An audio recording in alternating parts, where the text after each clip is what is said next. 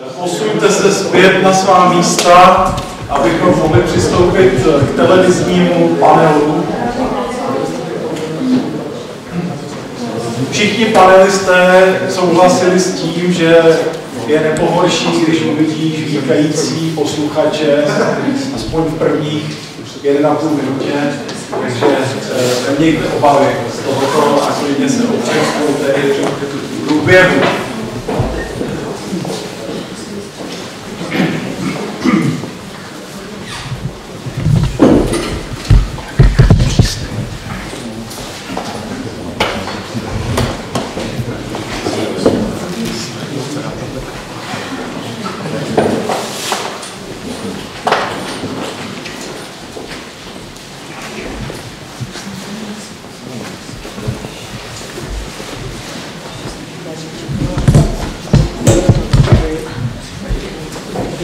Děkuji všem účastníkům panelu za jejich ochotu vystoupit. Moje jméno je Michal Sklenář, Petr Kopal. Když jsme tady mluvili o těch lokomotivách, tak lokomotiva eh, tohoto projektu také potřebuje si chviličku vydechnout, takže, eh, takže eh, jsem byl požádán o moderování této části konference. Jako první vystoupí pan doktor Daniel Růžička, což je tedy dlouholetý pracovník České televize, který se zabývá dějinami české, respektive československé televize a k tématu eh, také publikuje nejen, nejen v rámci projektu Film a dějiny, ale i jinde. Připomněl bych, že eh, nejenom eh, s ním, ale i s dalšími členy tohoto panelu je spojena nedávno vydaná kniha 70 let stále spolu 1953 až 2023 a připomínám také, že je spoluautorem internetových stránek totalita.cz. Dnes vložil do názvu svého příspěvku otázku, kolik máte vlastně podob Československá televize v boji proti nepřátelům socialismu a pro zodpovězení této otázky využije uh, ukázky, které má k dispozici, takže mu tímto předávám slovo. Dobrý den, přeji vám pěkné odpoledne a já začnu nejdříve jakousi znělkou, aby jsme si zarámovali, o čem se vlastně dneska budu povídat.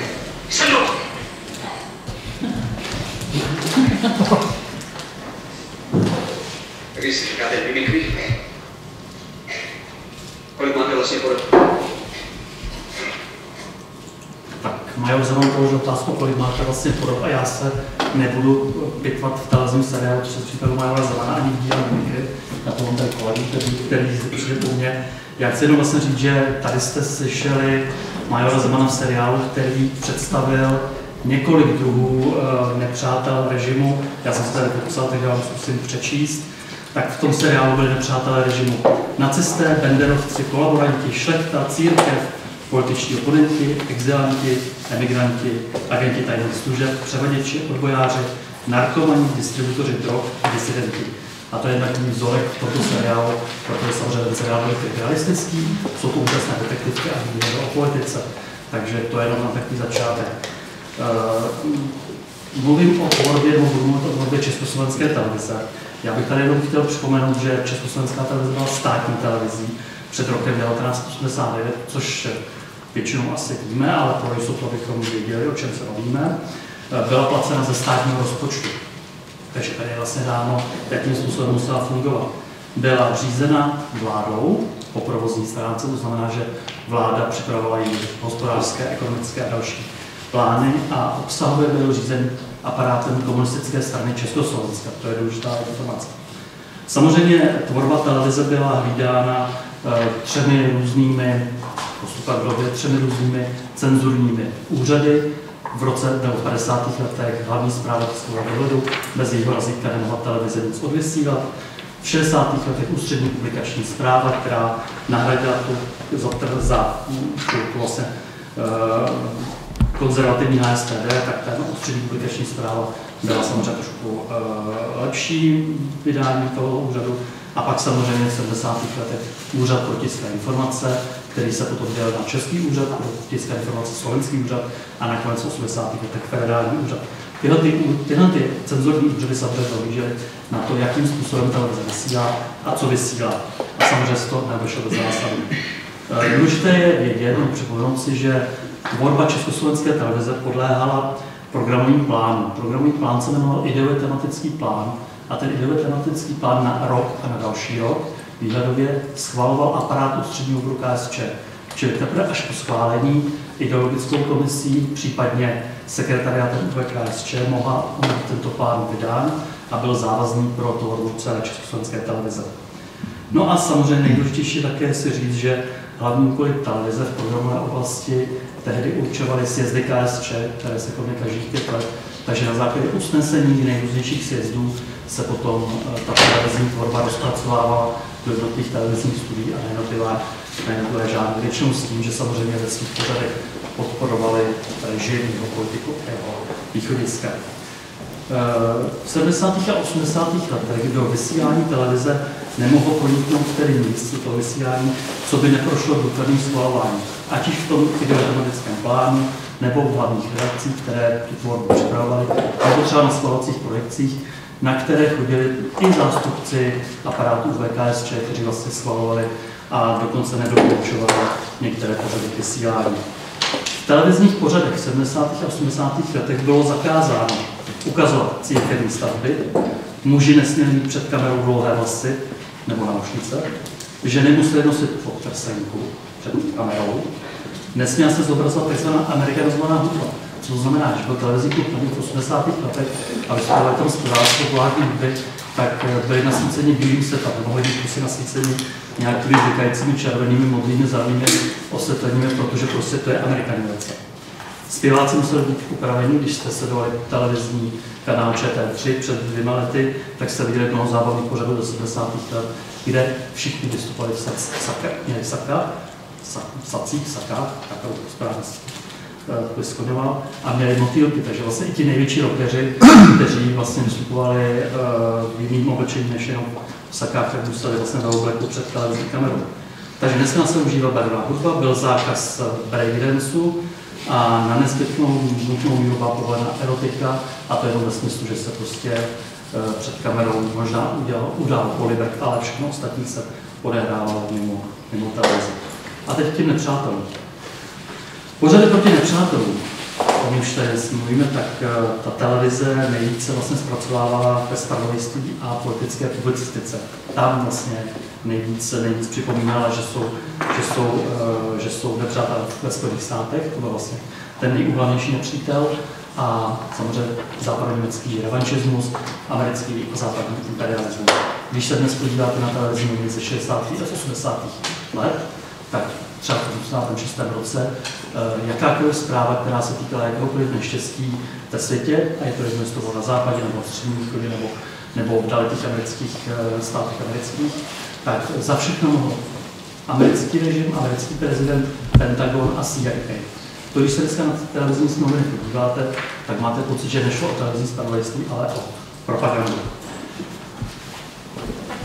Tím, tím vlastně, co jsem tady vytknul před chvílí, tak vlastně to dokazuje, že televizní tvorba v 70. a 80. letech byla především zaměřena na současný socialistický systém, Eh, nebo společenský režim a příběhy se odehrávaly většinou v rodině, v pracovních kolektivech, byla to výrobní tématika v továrnách nebo v chodnicích, nic jiného se vlastně neřešilo, když to dneska srovnáte s dnešní televizní tvorbou, ať na veřejné právní televizi nebo na komerční, tak vidíte nebo dokážete se porovnat, jaký, jaký a tematický skok tam, tam je. Uh, takže televize obecně, by se dalo říct, zobrazovala uh, tehdejší přítomnost, světlé zítřky, je všechno to pozitivní, výchova nového člověka eh, v novém třídním, novém třídním řádu se vlastně odehrávala v těch televizních pořadech, protože televize hrazila heslo obrazovka patří pracující, čili kult televizního, kult, kult, pardon, kult dělníka a pracujícího člověka na televizního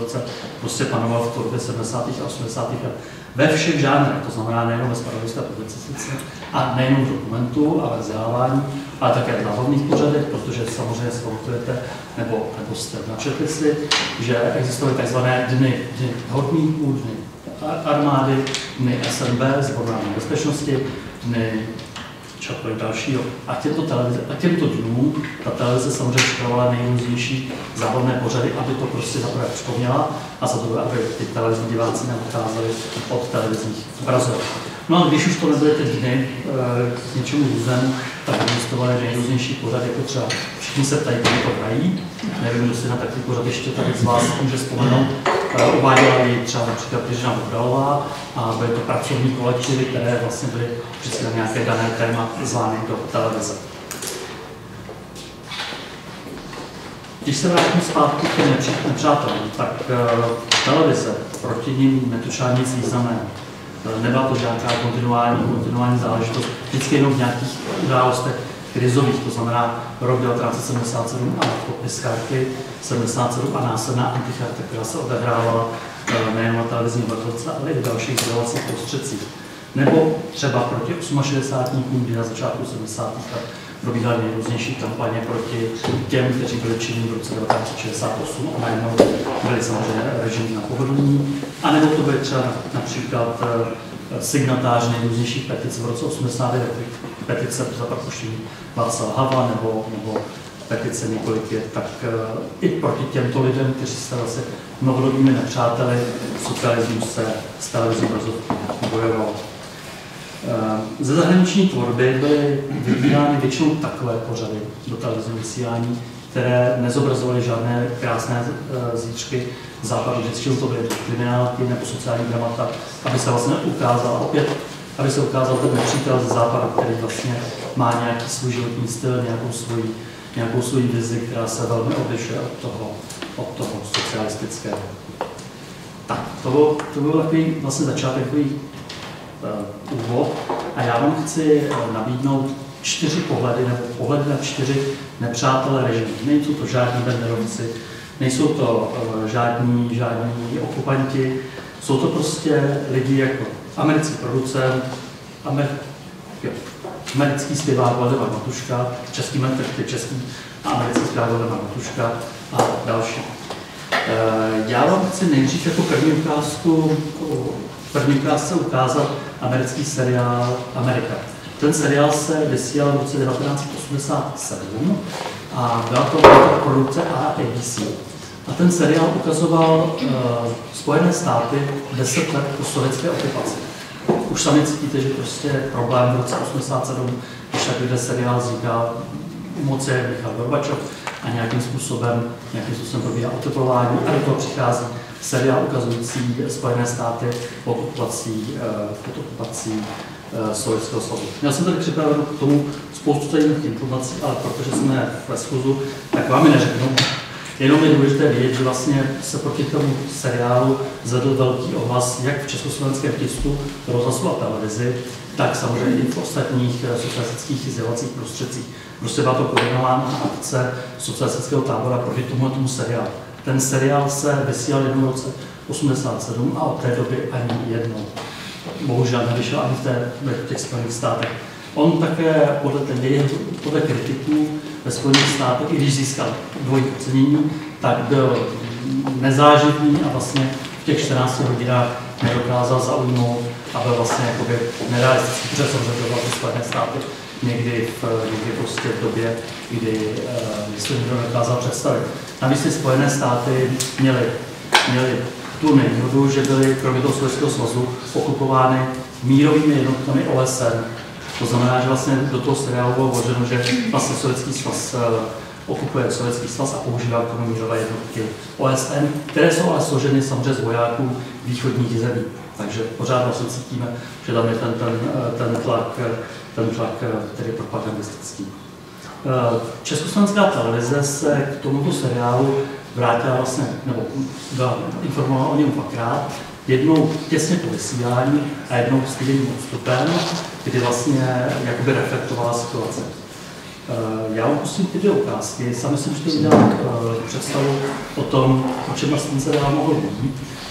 Ty ukázky, které tam jsou vybrány, tak jsou sice akční a jsou vojenské, ale ten seriál vlastně, když se na něj podíváte ve svém celku, tak eh, není jenom o tom, že se někde bojuje, ale jsou to různé dialogy různé jiné situace v rodinách a na jiných místech, takže ty vojenské jsou jenom, jenom z části, ale jsou vybrány samozřejmě toho příspěvku tak, aby televizní diváků dokázali, jak ten imperialismus americký samozřejmě velmi škodný. Uh, důležité také vědět, že tehdy ty kazety, ačkoliv to nebylo dostání nikde, tak Československá televize měla k dispozici celý seriál na videokazetách, nikde samozřejmě neodvysílala, bohužel se pak neodvysílali v 90. letech a byly zavřeny v trezoru u ústředního ředitele Československé televize, který je na vyžádání a proti podpisu zapůjčil do spravodajství, aby to spravodajství jeho odpovědí.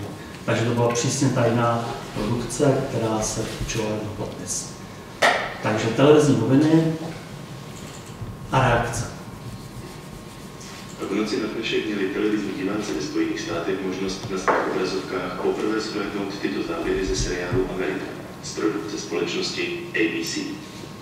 Celkem 14,5 hodiny dlouhý film líčí život v USA v roce 1997, kdy zde již desátý rok trvá okupace sovětskými vojsky pod záštitou OSN.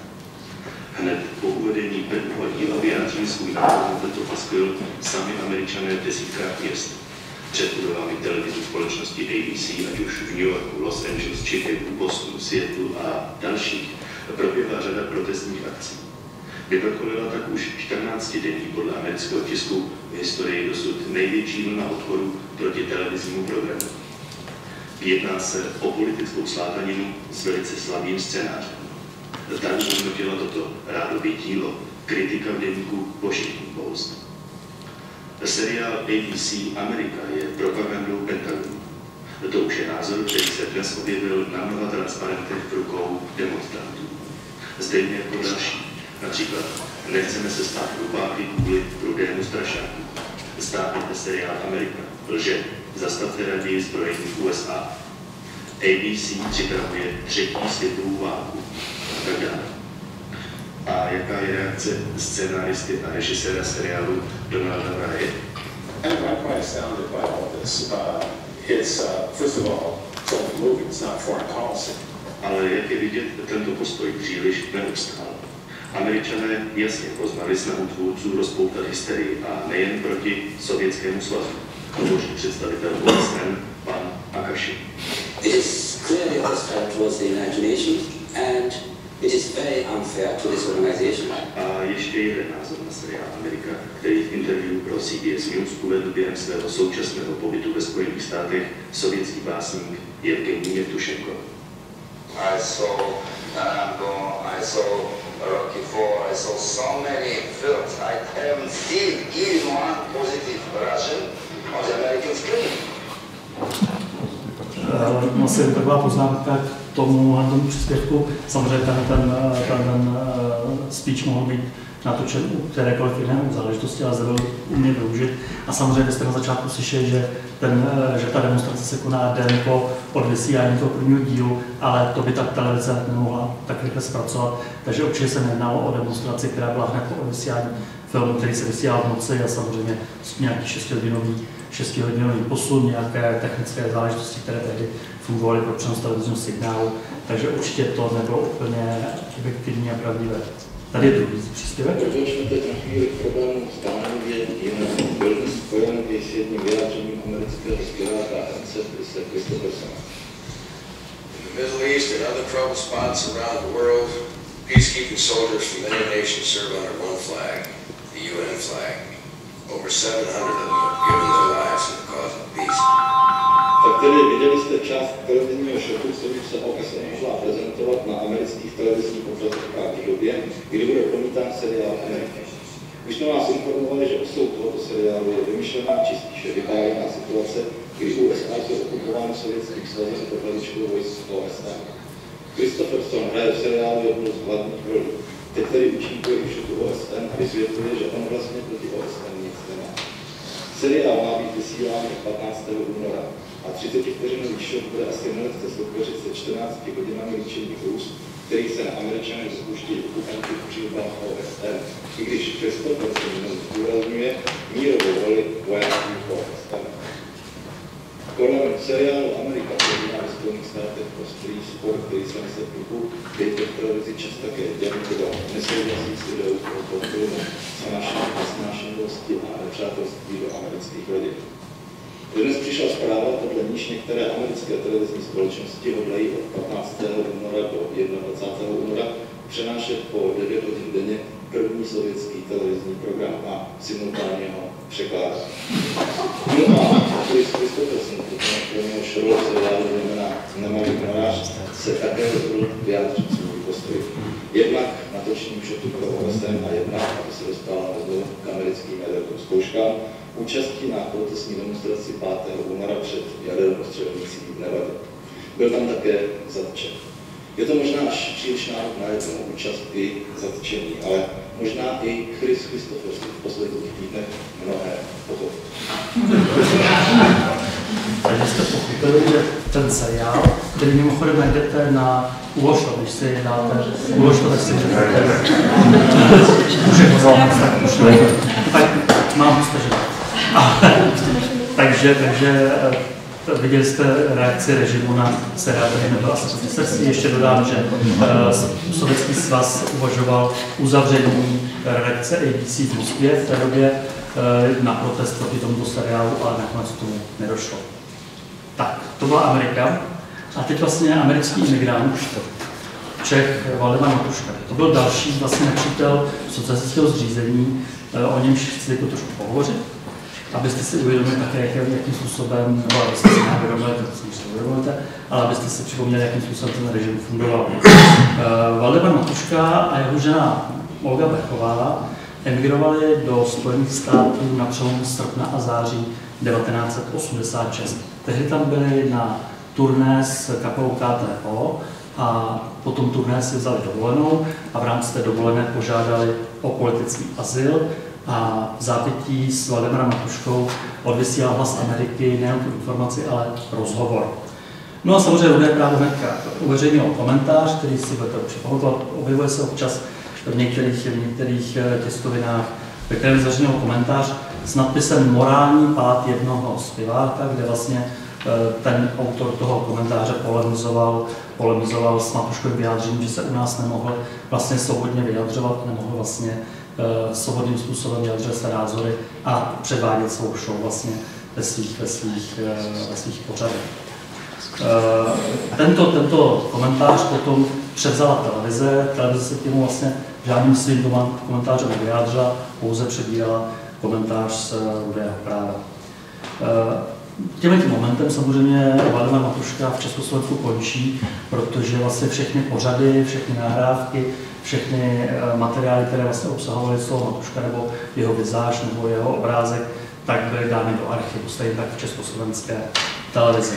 No a samozřejmě v roce, a hned v zápětí po té, co vlastně byla oznámena migrace, tak asi do 14 dnů zasedal předsednictvo ústředního výboru KSČ, to je ta nejvyšší eh, vrcholná věrchuška v čele s Gustávem Husákem tehdy, a odhlasovali, že se odejímá titul zasloužilý umělec uh, Valdemar Matuškovi, takže rozhodl o tom sekretariát na návrh vlády ČSSR, čili iniciativu měla vláda ČSSR, která vlastně požádala sekretariát, aby mu tuto iniciativu schválil a sekretariát ji samozřejmě schválil a řekl, že ji samozřejmě má provést. Zajímavé je, samozřejmě do dneška existují o tom materiály v Národním, Národním archivu a ten bod, který byl na tom ústředním dvoru, na tom sekretariátu projednáván, se původně jmenoval odnětí e, titulu zaslouženec Valdemar Matuškovi.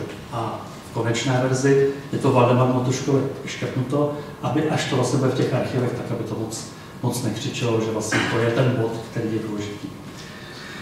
E, tomuhle tomu e, jsem našel v archivu České televize docela zajímavý materiál, kdy státní bezpečnost zahájila samozřejmě řízení proti, migraci, proti migrantům a poslala do televize dotaz. Vyšetřovatel státní bezpečnosti se ptal a Československé televize, jaký je morálně politický profil Valdemara Matušky a Olgy Blechové.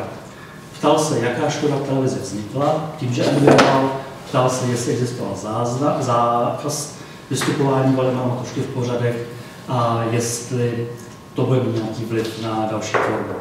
Eh, televize odpověděla celkem rozumně, napsala, že Matuška s Olgou Blechovou nejsou zaměstnanci televize, tudíž se k jejich morálně politickému Mhm.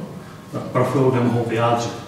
Eh, Žádná škoda nevznikla, protože sice byly uzavřeny nějaké smlouvy, ale nebyly vyplaceny a eh, žádný zákaz do té doby podle televize vydán nebyl. Nicméně, jako příloha byla čtyřstrana a na té čtyřstraně bylo uvedeno eh, hustě popsaným psacím strojem název pořadů, které nyní nemohou být eh, vysílány v československé televizi, protože prostě jejich Vladimir Januš. Je to vlastně takový jediný nebo jeden z mála dokladů, který ukazuje, že cenzura u nás samozřejmě existovala a je doložitelná právě tímto materiálem, kdy vlastně ten soudruh z té televize eh, říká, že samozřejmě to je největší severná škoda tím, že ta televize nemůže tyto pořady vysílat. Eh, To, že Valdemar Matuška tak, eh, tak jsem slyšel, že jsem musel zvlášť na dlouhý, tak to, to zrychlíme. Pustím vám reakci Československé televize na to, když ten Vladimir Matuška odešel a když se v roce 1989 v červenci nasadil do reprízy seriál Chalupáře. Tak vy samozřejmě všichni znáte, Znělku, jo. znělku znáte. Když máš v 15 vteřin. nevadí, že do ní křičí. Naráz přestanou zoby a Tak, tuhle tu znělku znáte. Ale už si možná nepamatujete na to, co znělo z televize právě toho 1. července.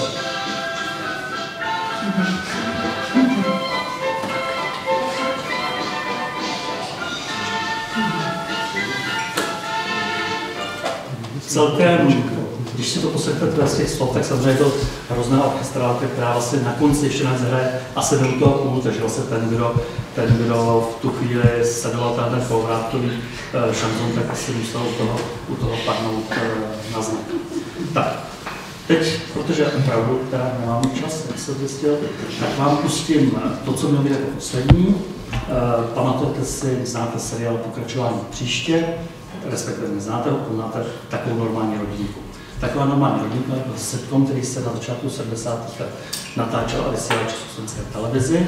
Účinkovali v něm nejrůznější populární kombinace, které se dneska vybavíte. Zdeněk Řehoř, Marie Rusulková, Jaromír Hanzík a další. A v druhém díle v tomto seriálu vystupovala postava malíře, která si vlastně pozvala babička v podání Marie. A toho malíře hrál původně Pavel Landovský. A protože Pavel Landovský po natočení se zjistil, že vlastně přišly pokyny, že již nesmí vystupovat, tak, byl ten, eh, tak byly scény s Pavlem Landovským přetočeny. Já vám teď nebudu připomínat, kdo ho přetočil. Kdo to víte, víte, nebo nevíte, budete překvapení. Takže já vám prosím ukázku z pořadu pokračování příště. To byl ten se- seriál, o kterém jsem vám říkal před kde se vlastně těchto těch seriálech eh, hovořilo. Takže Jaromír Hanzlík vysvětluje, co se stalo v roce 1971. Ten, kdo do té rodinky vstoupil jako host, jako příchozí zvenku, tak byli pan Oldřich Nový s paní Šošalovou, Jiřina. Jiřina Bohdalová a Moučka. Ovšem nutno podotknout, že před ním původně to natočil pan Landovský. Ovšem byla taková situace v této zemi, nevím, jestli jste to všichni zažili, nebo pamatujete, zaznamenali tu dobu, že i v takové nevinné záležitosti, jako byla taková normální rodinka, se eh, na příkaz z hora musel ten film přetočit, protože Laďák v té době už nebyl tady. v naší Není to je pravda, to není už tak. byl jinde. A tudíž nesměl na obrazovku a tak to za něj přetočil Jarda Moučka, toho malíře pochodu. Že? O mém zákonu v roce 71 vyskočilo mých epigonů tolik, ale žádnému se to nepovedlo, protože měli ty he, role místo mě a snažili se to dělat jako já. Bylo ženské rozum žádné, protože tohle plus byli polámu Ale skleničky, sámporničky, tak. A teď si na to podíváme.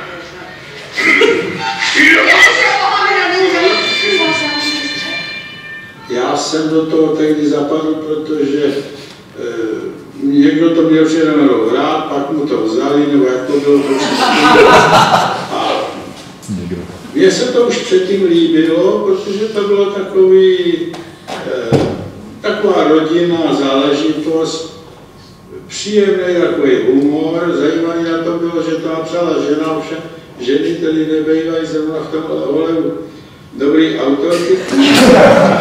To jsem se nemohl nechat stejnou.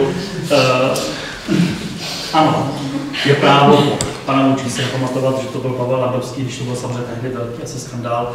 Já jsem se snažil najít nějakou, nějakou stopu, bohužel v archivech České televize se z té doby nic nenachází, žádná není složka. A když už jsem našel scénář toho dílu, tak na tom scénáři byly vypsány všechny postavy eh, s tím hereckým představitelem, jenom ta postava malíře nebyla v tom scénáři doplněna, takže je možné, že tomu byla jakási buď spikenská záležitost, nebo, nebo se do poslední chvíle nevědělo, nebo se do poslední chvíle tajilo. V každém případě ty záběry původní nejsou, nejsou, protože byly smazány a vy jste třeba tuto scénu mohli vidět zpracovanou v televizním seriálu Volha, který letos vlastně Československá, Česká televize vysílala o poměrech Československé televizi. Tak, končím. Já vám děkuji za pozornost. Chtěl jsem ještě vám uh, povědět o tom, že uh, vy znáte kauzu Fremer, která proběhla uh, nedávno a důležité je vědět, že Československá televize má z tohoto, z, toho, z případu Olšanské hřbitovy, který, se, který vlastně byl ten nej, nejmedializovanější, tak má dva natočené televizní pořady, které se dochovaly. Oni se z nich pár závěrů odvysílalo v televizních novinách, ale důležité je, ten, ten, ty pořady v celku už bohužel nepřehraju, takže možná někdy příště. Ale je zajímavé, že ty dva dokumenty, jeden z nich eh, je kratší, nikdy se nevysílal, protože akceptoval jenom, jenom dva z pachatelů, těch původních, a druhý dokument eh, se už vysílal, ten byl přetočen, natočen znovu a ten se odehrává právě v soudní síni, kde vlastně prokurátorka, soudce a jednotliví pachatelé, pachatelé vypovídají, pachatelé v pozovkách, to možná. A tento dokument již byl vysílán. Tak, to je za mě všechno. Já vám děkuji za pozornost, doufám, že vás střípky z televizní historie bavily, ukázali vám možná na přátelé z jiné strany.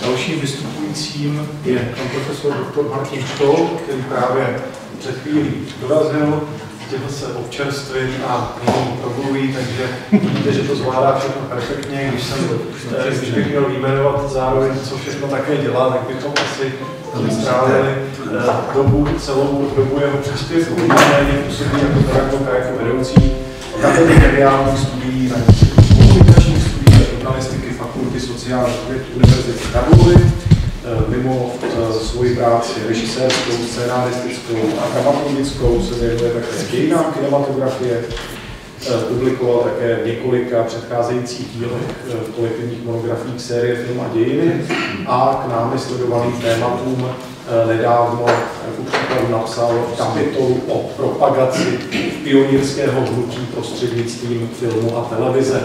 A teď už mi prchá, takže já velmi pomalu přečtu název jeho příspěvku a třeba se mezi tím zase vrátí. Název jeho příspěvku zní Nepřítel ve skladbě televizního programu Československé televize. Zjišťuji, že ta flaška nějak nečte, takže Teď si můžete vyjmenovat. Ne, ne, ne, ne, spíš bychom tam neschodili.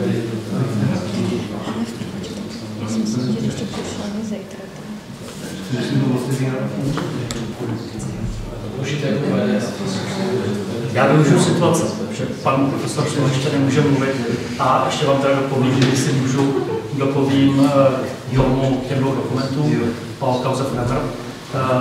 Těch, v těch dokumentech byly použity závěry státní bezpečnosti. Státní bezpečnost samozřejmě ty povalené pomníky na těch oršanských hřbitovech natočila. V televizi pořadala samozřejmě svůj, svůj idealistický a proti prorežimní komentář. A zajímavé je, že vlastně každá, každý televizní pořad v televizi je ukončen takzvanou zprávu o vysílání zprávu o odlučení úřadu a tam je v poznámce uvedeno, že bylo uvedeno jedna minuta a pár vteřin závodu státní bezpečnosti. To se nikde vlastně v materiálech Československé televize nikdy neuvádělo, že ta televize používala závěry státní bezpečnosti. Je to verifikováno, je pod tím podepsán Miloslav Broucký, což byl, což byl šéf rektor tehdejší ústřední reakce armády bezpečnosti a prenosí.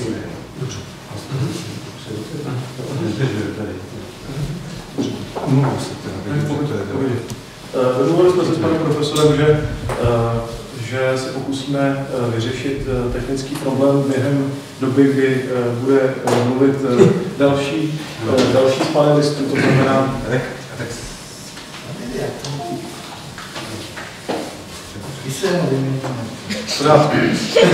On je můj vedoucí, já jsem.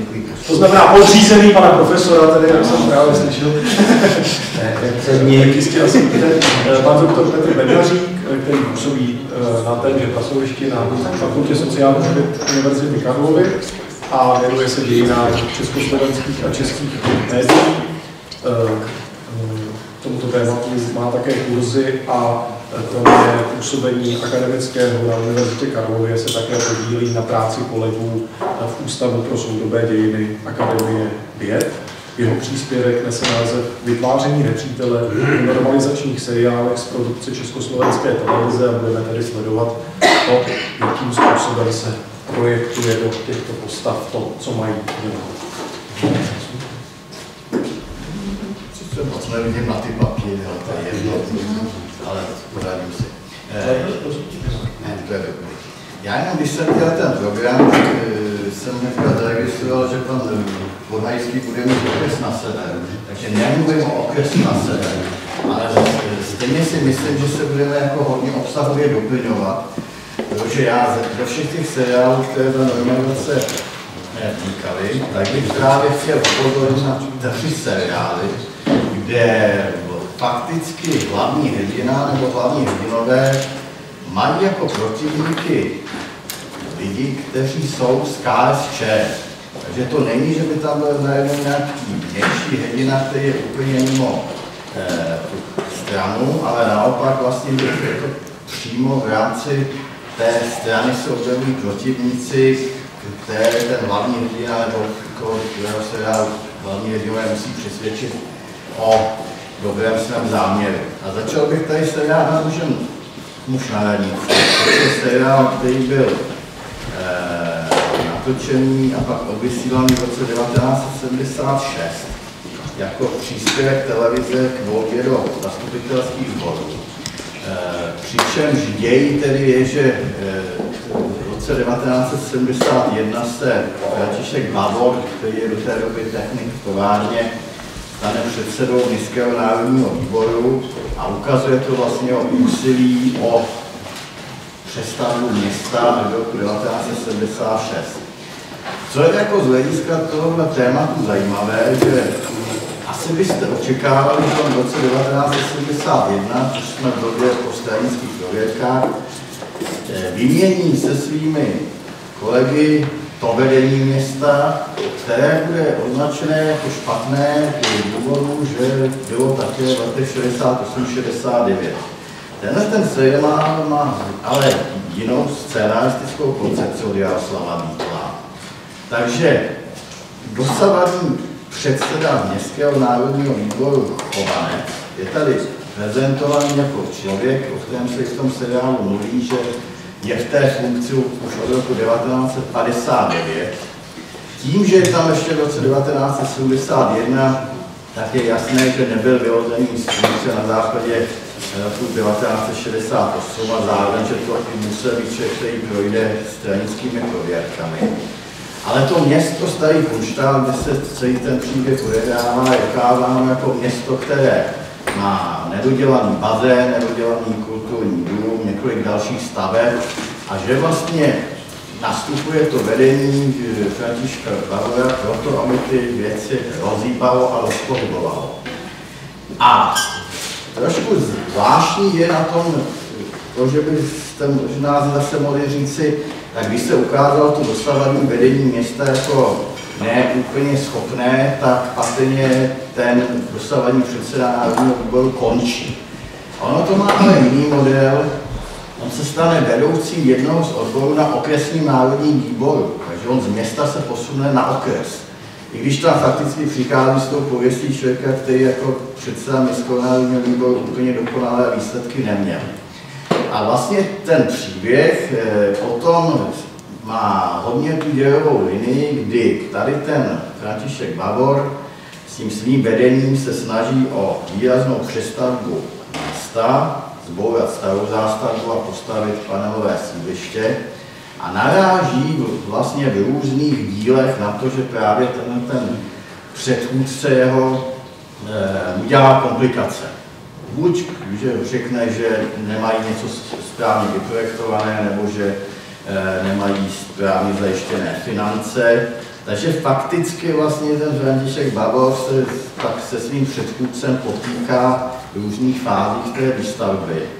Pak ještě tam jsou dva další lidé, kteří v rámci toho eh, Městského národního výboru dělají velký problém, to je ředitel střední školy, který tak jako stále proti němu nějak intrikuje, plus vedoucí odboru výstavby, což teda zrovna vzhledem k té akci, kterou plánují, je dost klíčová osoba, ale je tam eh, čo, jako ukázaný jako člověk, kterého hrál Ladislav Boháč, který taky stále tak jako e, mluví proti tomu předsedovi mimo ty schůze, tak nějak říká, že to jsou velkolepé plány, které přitom ten Bavor nebude schopen zajistit. Takže ono je to taková jako zvláštní konstrukce, jak vlastně přímo jak na té radnici, tak vlastně na ONV máte lidi, kteří tomu hlavnímu hrdinovi dělají problémy.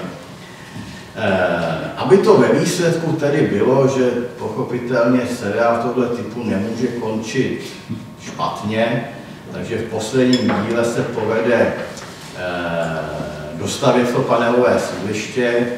Ten dosavadní, teda ten Chovanec, který byl tím předchozím předsedou Městského národního výboru, pochopí toho nového předsedu a začnou spolupracovat a je vlastně tím, kdo mu pak jako naopak z té své pozice na okresním národním výboru pomáhá dokončení té stavby. Ten vedoucí odboru výstavby tomu sdělí, že už eh, nemusí chodit vůbec do práce a ten učitel tomu řeknou, že už nebude na kandidáce Národní fronty pro volby v roce 1976.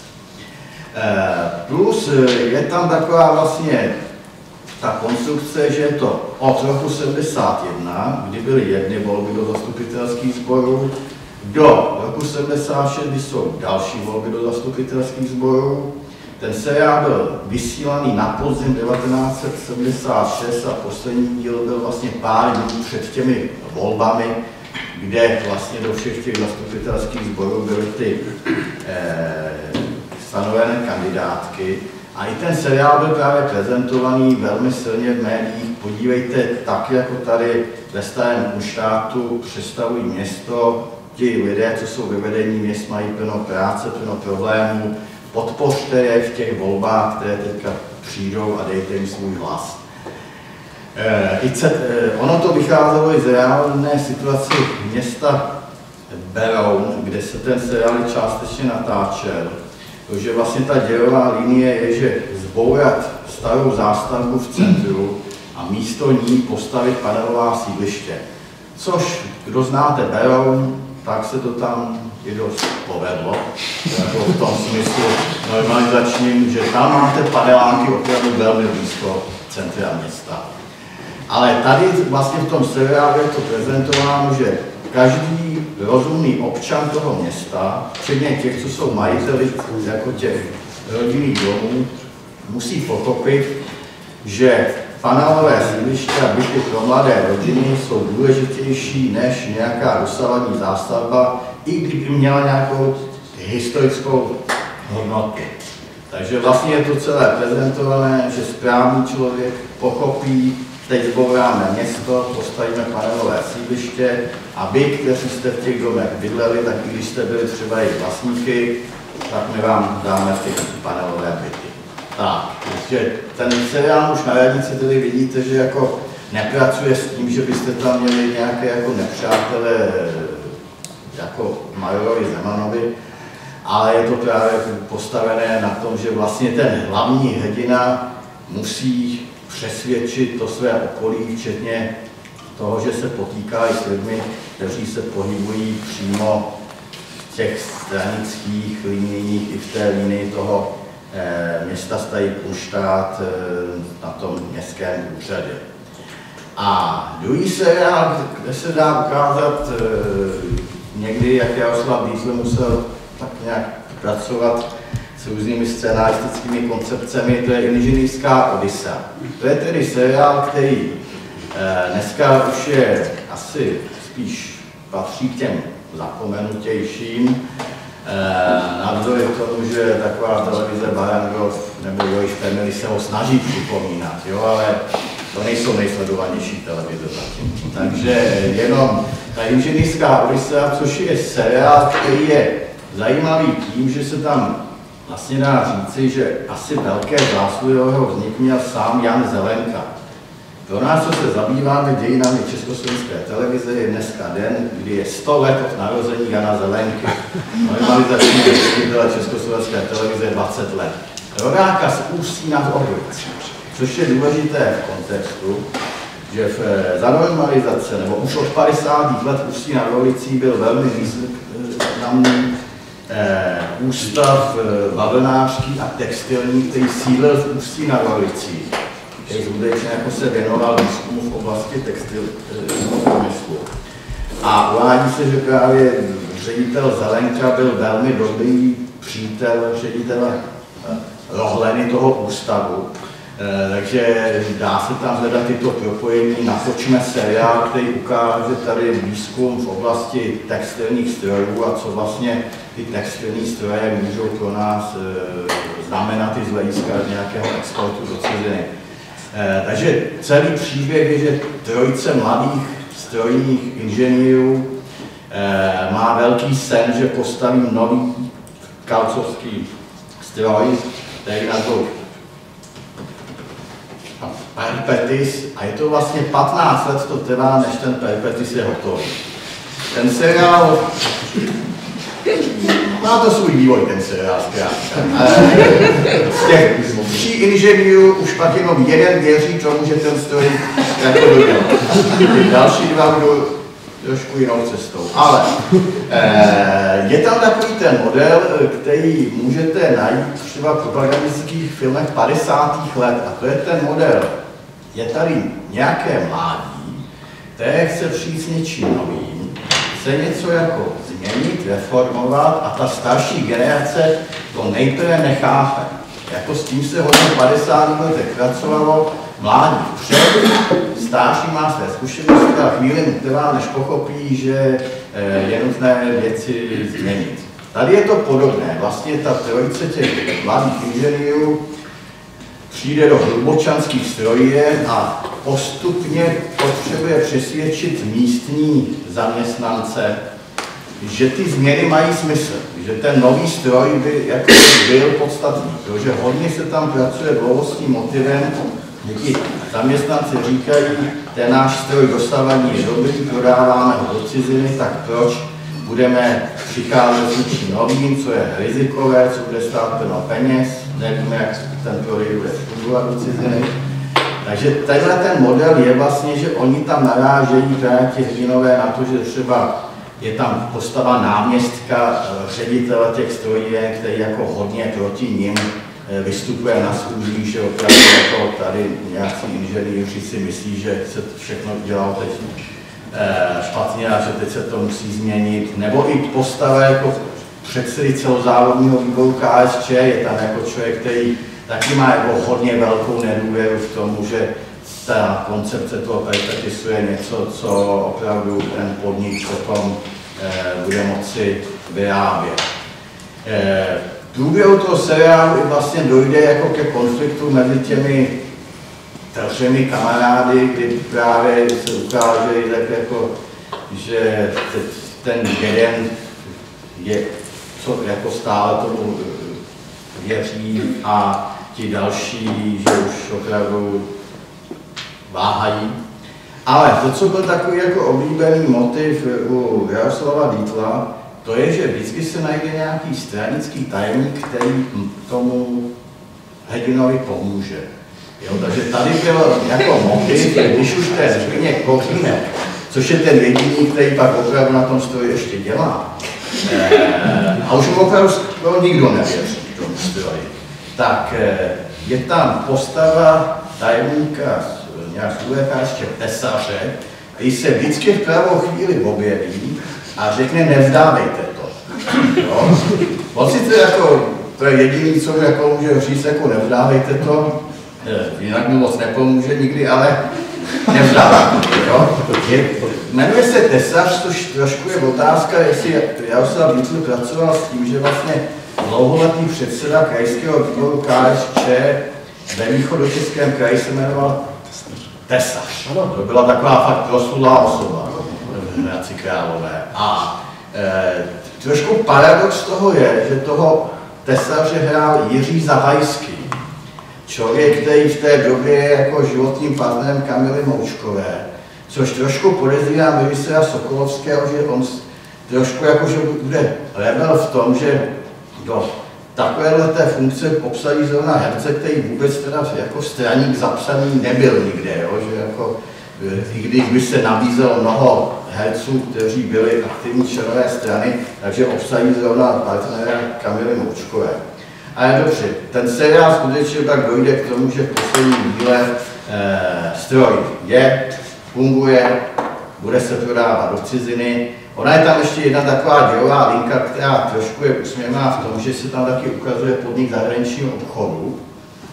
Teda není úplně úsměvný, jak ten podnik vypadá, jo? to oni tam opravdu ti pánové jako dávají najevo, že jsou takový hodně nekompromisní v těch obchodech, ale bojují tam s různými jako obchodníky pochybného charakteru ze zahraničí.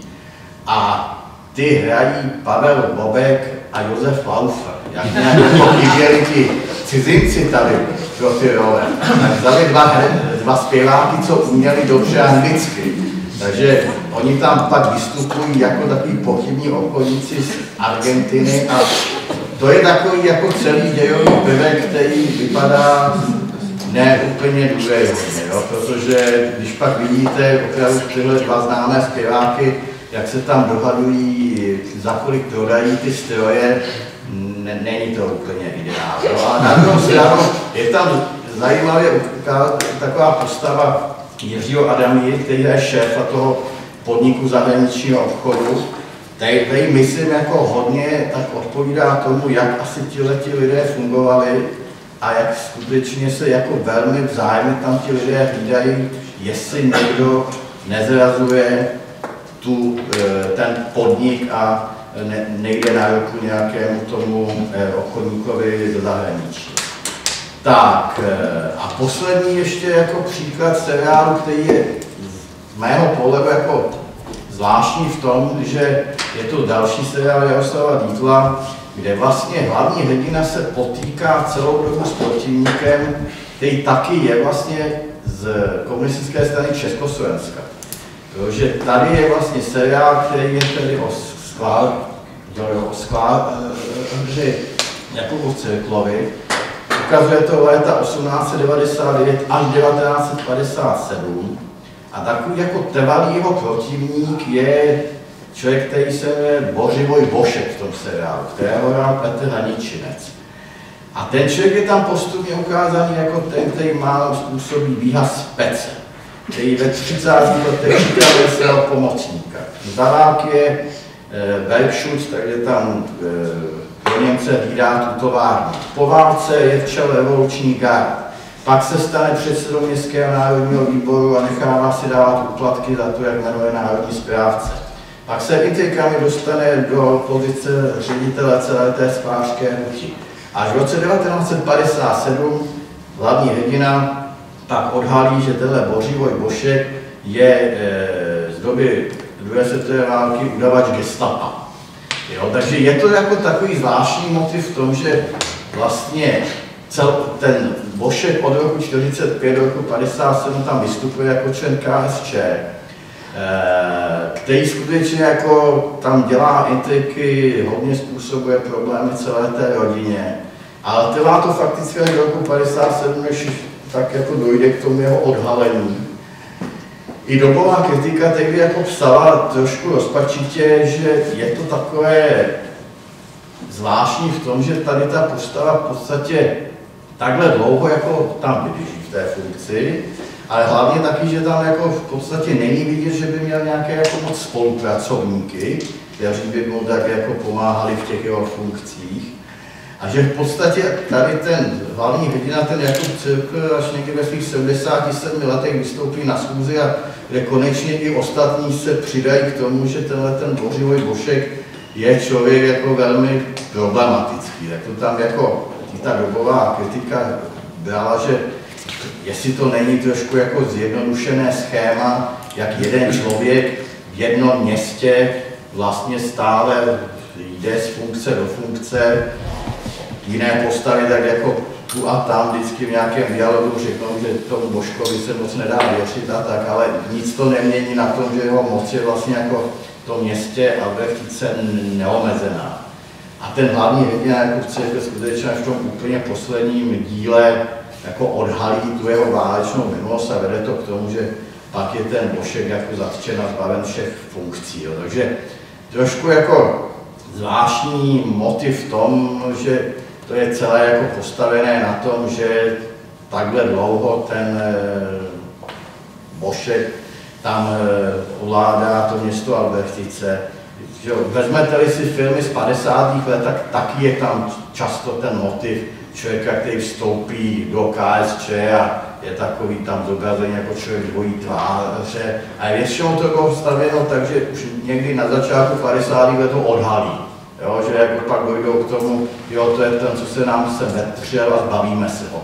Tady ten seriál to tak jako vlastně táhl až do toho 57. roku, kdy tedy dojde k tomu odhalení, že tenhle ten člověk, který dělal kariéru všemi možnými nekalými způsoby, tak tady dojdou k tomu, že se ho vlastně jako e, v těch v tom městě baví. Jo? Takže jenom je to seriál, který skutečně jako má tenhle ten motiv, jak v rámci KSČ je kariérista bez charakteru, který stoupá, stoupá v těch funkcích, což e, zase není tady v tom, té době 70. 80. let už zrovna časté, to, že by se to objevovalo v té hrané tvorbě československé televize v tomhle rozsahu taková postava. Tak tím bych skončil, hledím vedle na kolegu, zdá se, že technika Naděje je v této flešce. Naděje umírá poslední. Tak děkuji za pozornost.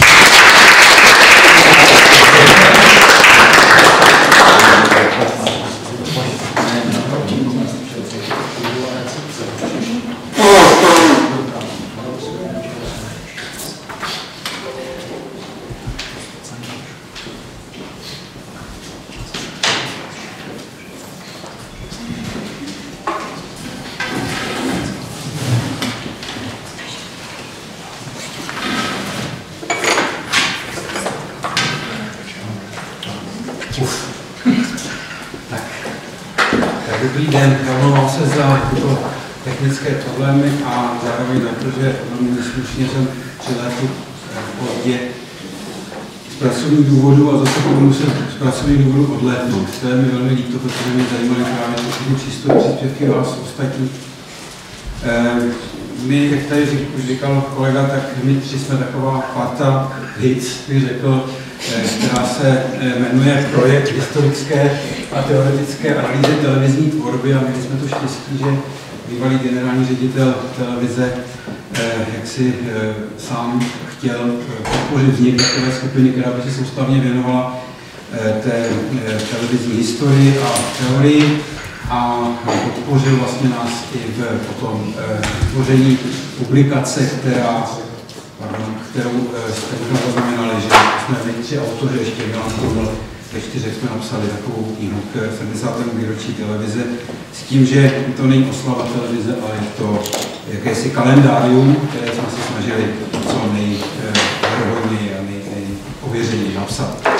Eh, já, můj příspěvek se týká eh, nepřítele, nazval jsem to nepřítel v televizním programu, čímž myslím skutečně v programu, jakoby ve skladbě programu. Eh, možná si na konci příspěvku budete říkat, kde byl ten, ten nepřítel. Já se vlastně snažím ukázat, že naopak zakrýváním nepřítele, systematickým, nepřítele, systematickým zakrýváním v televizním programu se vlastně ho dařilo nějakým způsobem i třeba detekovat. Eh, uvědomte si nejprve ten základní eh, postulát, že Československá televize byla jediným sdělovacím prostředkem hromadným, který vznikl vlastně v době totality bez jakékoliv tradice meziválečné nebo demokratické, rozhlas svůj radiožurnál, všechny možné noviny měly své podoby už za první republiky.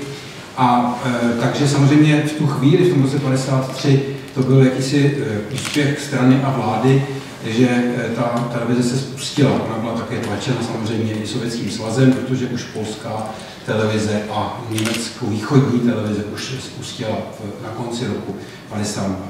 Eh, ten první nepřítel byl v podstatě už skrytý v té kolébce v tom zadání televize a šlo právě o ten program.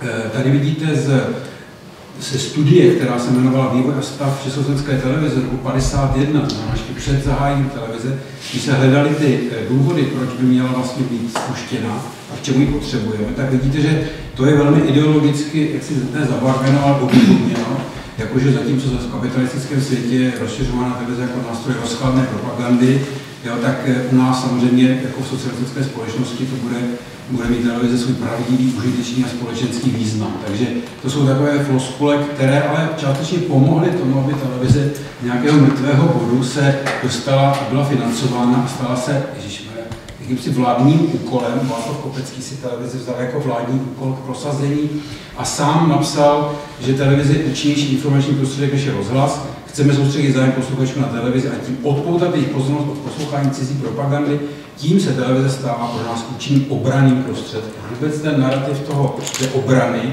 v éteru byl velmi častý a to samozřejmě jsme zaznamenávali nejenom, nejenom tady. E, tady vidíte, to jsem vzal zrovna z týdenníku, týdenníku televize, časopisu Československý rozhlas a televize v 50. letech. E, vidíte, to je ten obraný, všechno je to mír, samozřejmě bezpečnost, na titulní stránce, to vlastně v těch 50. letech velice častý, to logické vzhledem k železné oponě, e, narrativ.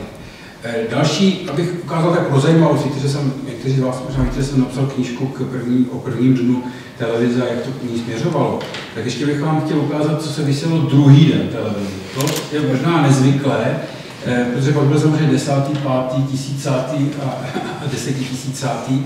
Dívejte se, že 2. května, eh, kromě skeče, za který byl odpovědný Lipský, dětský program, který odpovídal mistr Trnka, to se cituje z toho eh, papíru, který, kterého se mělo jak se vysílat, tak byla ukázka z filmu Rodná země, a to byl odpovědný Klos. A potom byl film Dobytí Berlína. Takže tady vidíte, že ten květen vlastně je, už jako připomínal nejenom teda jako první maj, to bylo to prvního, ale potom tedy i eh, jako vlastně opět zase to, to ta obrana, to určité vítězství, tenhle ten princip, tam byl vlastně hned jenom v tom, když se podíváme na tu skladbu programu, tak je tam prostě jako hlavní téma v podstatě, přerodná země, nějaká pozitivní hodnota a zároveň tedy dobrý Berlína jako vítězství nad něčím. Já jsem mluvil strašně rychle, mi to utíkal.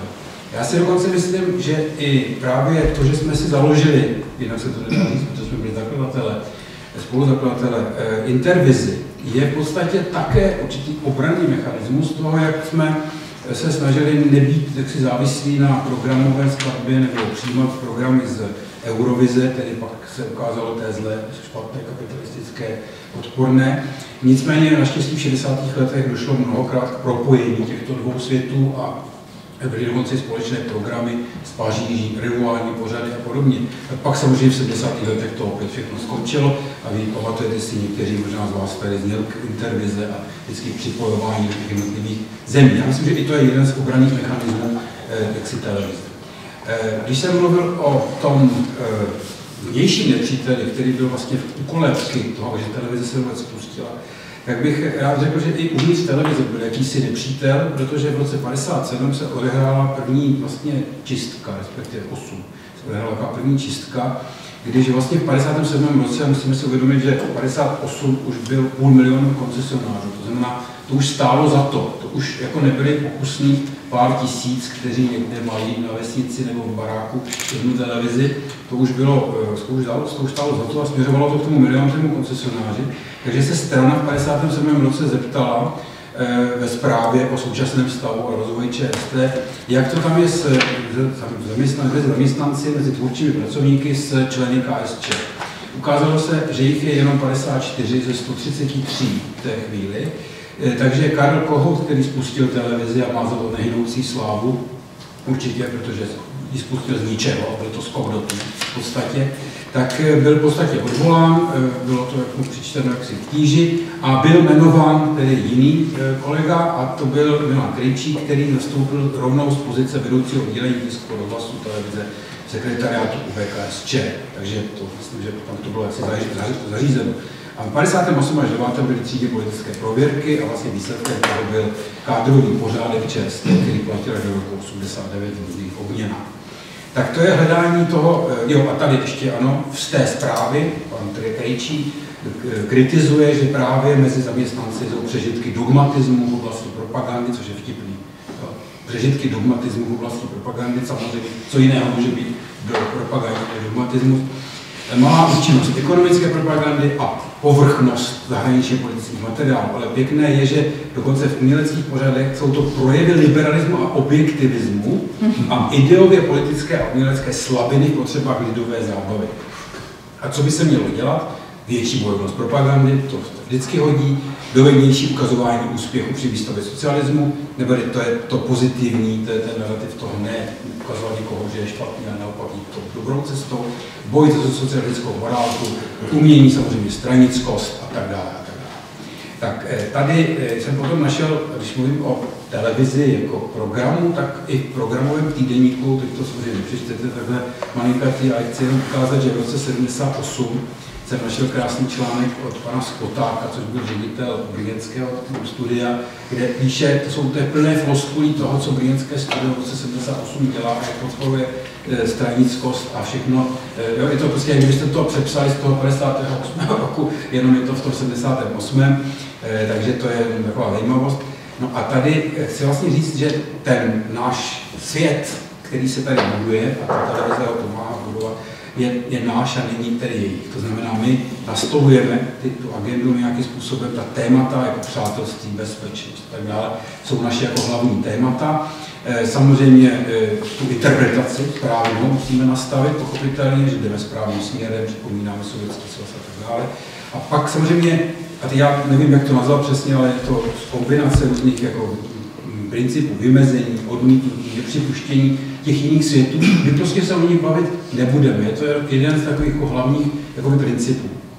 A když e, soustavně odstraňujeme z veřejného prostoru nějaké téma, tak a nahrazujeme nějakým jiným, my máme své úspěchy, my máme svou minulost a svou budoucnost samozřejmě, což teprve naše krásná přítomnost, tak to všechno je eh, vlastně součást nějaké koncepce, koncepce té propagandy. A to se projevuje i v televizním programu. Abych to nějak doložil, tak tady naprosto nepoliticky eh, v týdenníku rozhlas televize eh, byl, byla, byl týden, kde byly divadelní hry, že tam nevidíte, protože malinkatým písmem, ale podívejte se na výběr těch divadelních autorů divadelních her. Tak to jsou samozřejmě klasici, Shakespeare jistě nikoho nepohoršuje ani do socialismu, Schiller, Wagner, dobře, ale pak máte Kornejčuk, Valucky, Poláci, Maďaři a tak dále. Tam vlastně nevidíte jediného nějakého západního, je tam teda Ibsen jednou, to je pravda, ale to je, že malinká jedna výjimka. A podívejte si, jak bohatý program vlastně připraví televize s rozhlasem dohromady, aby dělali krásně jako týden nějakého divadla a přitom eh, vlastně tam není jediný eh, z, z jiného světa, když toho našeho. Typickým příkladem, jistě si vybavujete všechny možné titulní strany všech možných novin, tak tady, když máte v 58. podívejte se, tady je estráda maďarská, tady jsou lidé, kteří budou v maďarské estrádě. Proč ne? Nic nemám proti maďarské estrádě, byla ještě z NDR, jistě byla z Polské republiky, ale jako eh, tím pádem se vymezujeme vůči těm ostatním tím, že jenom tu děláme maďarskou estrádu. A že zdravíme v roce 86 e, sjezd, tak to je, vidíte, jaký pozdrav, jakou máme radost, že můžeme pozdravit právě ten náš správný směr. E, ten nástroj propagandy v tom smyslu, jak vnímáme propagandu, je samozřejmě patrný v tom televizním programu od z prvního dne. Teď jsem ukázal druhý den, ale když se podíváme na první den, tak týká se to celých těch 50. let, ale pak těch 70. 80. ve všech programových typech, ve všech když se díváme na tu skladbu toho televizního programu, musím říct, že není možné minout vlastně princip, já tomu říkám princip výročí. Princip výročí jako dramaturgického nějaký jaksi koncept v podstatě a e, ten je tam od začátku a já musím říct až do koncepce myšlení, jako způsob myšlení ve výročí. My dva teda jsme byli, ale teda Dan je, a ještě zaměstnancem televize, ale já jsem byl taky 9 let zaměstnancem televize, ten princip výročí tam funguje do dneška, já jsem tady pro vás pro zajímavost jen tak vytáhl z provisu eh, věci, které se jmenují výročí a jsou současné. To jsou výročí čehokoliv. Prostě. Takže výročí samozřejmě ležáků, výročí Apula, výročí eh, lodní policie, výročí Svazu Maďarů v Čechách. Jo. To je všechno, jo, televize je nějakým způsobem, to, jsou, to je ze současného provisu. Jo? Takže eh, já vždycky vím, že když jsme pracovali spolu v televizi, tak vždycky přišlo, jaká jsou příští rok výročí, jaké máme k tomu pořad. Jako ten narrativ tam je principiálně dál, samozřejmě není už to komunistický nebo politický, ale jako eh, je to princip, když jsme potřebovali vždycky prosadit nějaký pořad jako výrobu, tak jsme se první, co jsme se dívali, jestli bude výročí. Protože když nebylo výročí, tak vedení televize bylo náklono k tomu. Čím kulatější, tím lepší. Eh, první den vysílání, tady máte, co se vysílalo, jak vypadal ten první den, to je z těch autentických materiálů, tak eh, samozřejmě básně k 1. květnu, radostný 1. máj, aktualita, eh, to znamená jaksi spravodajská aktualita z 1. 1. máje. Tohle se úplně neodehrálo tak, jak to plánovali, protože do toho pak vstupuje ta improvizace s Filipovským a tak dále, ale ten princip je vysílání filmem, jak tam máte nahoře napsáno, a myslelo se tím, že tedy vlastně původně nebude se vysílat nic ze studia. Eh, ukazuju to kvůli tomu, že tady se podařilo vlastně majstršty, protože první květen jako mm, svátek eh, pro komunistický režim podstatný z mnoha ohledů, který si z toho vlastně svátku práce vzal jenom ten, ten, to vítězství jako proti tomu, jak se naši, jak se, naše práce je krásná, a krásně se žije krok vedle té kapitalistické bídy, eh, tak je to určitě ikonický den. Ta volba tedy toho 1. května už sama o sobě je prostě první jak chci, implementace výročí do eh, tele, uvažování televize jako takové. A to, že to teda bylo na té obrazovce, to je jasné. Eh, tady jenom budu se podívat, tady vám dál, tady máte, jak vypadal ten televizní program, potom třeba v roce 58 výročí tady máte 70. rok. Když se v 70. roce, tak máte ve 2010 Moskva v notách, jo? nepolapitelný mstitelé, sovětský dobrodružný film, jo? v roce 80, aby jsme se podívali. Zpěv míru, setkání se sovětským umělci. Jo, takže jenom chci tím naznačit, že první máj jako, jako ikonický den je tady vlastně neustále připomínám v různých dekádách vždycky nějakým odkazem na, ne na ně, ale na sovětský svaz a na tyhle ty naše eh, hrádky, abych tak řekl. Tady máte první maj eh, jako titulní stranu, hned krásný článek, tohle, ano, už, už dokončit. První, první maj v roce 1970, eh, tady vidíte, to je krásný článek, televizní první máj, už se jako ohlížíme za to, jak televize slavila jako 20 let první máj. No, tady máme první maj, takže je to všechno znáte krása, to je 86. rok, tak dále, tyhle ty malé všechny z televizní obrazovky moc dobře znáte, dokonce se mi to hejbe.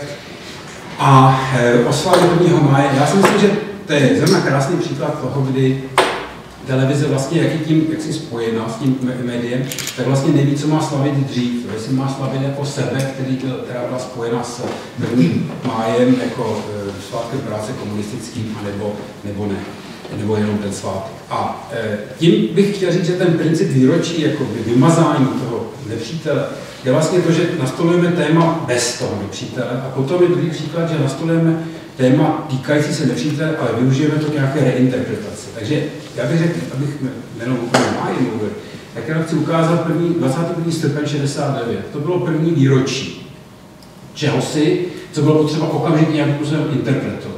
Eh, Jan Zelenka, který teda, jak jsme se dneska rozvěděli, má výročí, eh, a máme ho tady, tak eh, tento oslavil tím, že všechno bylo perfektně připraveno. A máte tam měsíc nad řekou, jo, Sopoty 69, a pak si to v drahové cyklistice. A my dobře víme, tak televizní noviny byly předtočeny a byla postílena milice a tak dále, kdyby náhodou něco došlo.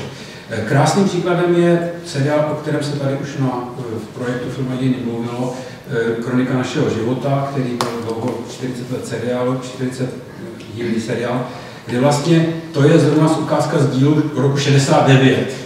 Takže tam prostě hovoří hrdinové socialistické práce, ta interpretace prostě je jasně dána, jak prostě Dubček, tom přímo říká, ten Dubček prostě byl pomílený a tak dále. No a tady tenhle ten plán vlevo nahoře, který jsem si takhle dovolil tady hezky zviditelnit, tak ten potom eh, tomu vlastně projektu dal i jako cenu prezidenta republiky za eh, vlastně tu podporu a krásnou rekapitulaci. Takže třetí a poslední příklad využití výročí, podle mě, a tedy toho nepřítele, je, že nahradíme nějaké už existující datum, které to výročím je, bohužel výročím, nějakým lepším e, obsahem. Tohle to je krásný příklad. Tak například 28. říjen 8. Tak nechceme e, Československo, nechceme Masaryka, nechceme 28. E, říjen, chceme nějaký nový narrativ, takže máme Den znárodní. A víte, že vlastně do roku 1988 se vlastně o Masarykové obchodní republice žádným způsobem nemluvilo, nesmělo se o něm mluvit a prostě, no nesmělo, prostě převál, bylo převálcováno toto téma prostě dnem znárodnění, který v podstatě byl jako největším úspěchem boje proti kapitalismu, protože se podařilo konečně se zbavit toho ošklivého soukromého vlastnictví a zvítězit tedy nad eh, tím, tím eh, pokřiveným způsobem e, myšlení. Tady máte v roce 59, e, jak se oslavovalo právě to, to, datum, že jo? a tady vidíte, za, za znárodnění máte první titulní stranu a jinak sirénu. Jo?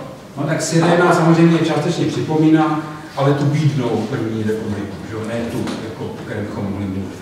No a pak poslední příklad je tady z krásného seriálu, který se jmenuje 60 let KSČ, který krásně ukazuje, tady mám 60 let KSČ, který ukazuje jeden z těch dílů, šesti, jenom šesti dílů, se dá ku podivu. Eh, jeden se jmenuje Znárodnění, samozřejmě, protože prostě ten eh, příběh je jasně dán spojen s tímto, s tímto termínem s tímto datem. No a e, tady samozřejmě jednoznačně interpretuje ten, ty jednodušší události, potvrzují ten narrativ, vypráví ty heroické příběhy, takže mýtus. Takže na závěr, e, tady jsem se snažil nějakým způsobem v rychlosti, mám se, že to je tak jako, spěchám taky trošku, e, je tři typy využití toho výročí. Podle mě práce s těmi výročími je v podstatě regulární manipulací která je jaksi posvěcená s informacemi, historickými událostmi, kontexty. Eh, nakonec to 24-hodinové vysílání, což je teda až teď, ale předtím bylo dlouhé, je vlastně velmi, eh, to vítá vlastně ta televize, protože má nějaký obsah. A zároveň ale je potřeba si teda zároveň přiznat, že už jenom z viditelněváním toho výročí se vlastně televize staví jaksi do pozice podporovatelky a kolaborantky, teď to řeknu v tom smyslu spolupracovnice, spolupodílnice na budování toho mýtu. A to teda platí i do dneška, když dáme na ten provis, tak myslím, že už jenom tím, že to takto tím způsobem zmiňujeme, tak eh, tím nějakým způsobem eh, to podporujeme. Takže eh, ta otázka nepřítele v tom případě je, že jsem se snažil jak si najít způsob, jak televizní program a v té televizní skladbě tam vlastně neproniknou věci, které jak si nekolidují s tím reži, nesouhlasí s tím režimem a vlastně než ukazovat, tomu bych udělal úplně jinou přednášku o tom, kde teda byli skutečně jaksi dotčení a ukazovány na ty nepřítele. Tady vlastně to je metoda, kde na něj neukazuju, ale kde vlastně úplně eliminuju. Případně pokud by tam byl, tak ho za, za, zacpu nebo prostě zavalím jiným tématem, jiným obsahem a tvářím se jako by nic. Tak vám děkuji za pozornost.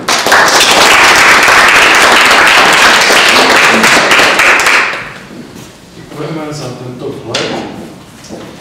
Dalším vystupujícím je kolega magistr Jiří Anders, doktorant Ústavu hospodářských a sociálních dějin Filozofické fakulty Univerzity Karlovy.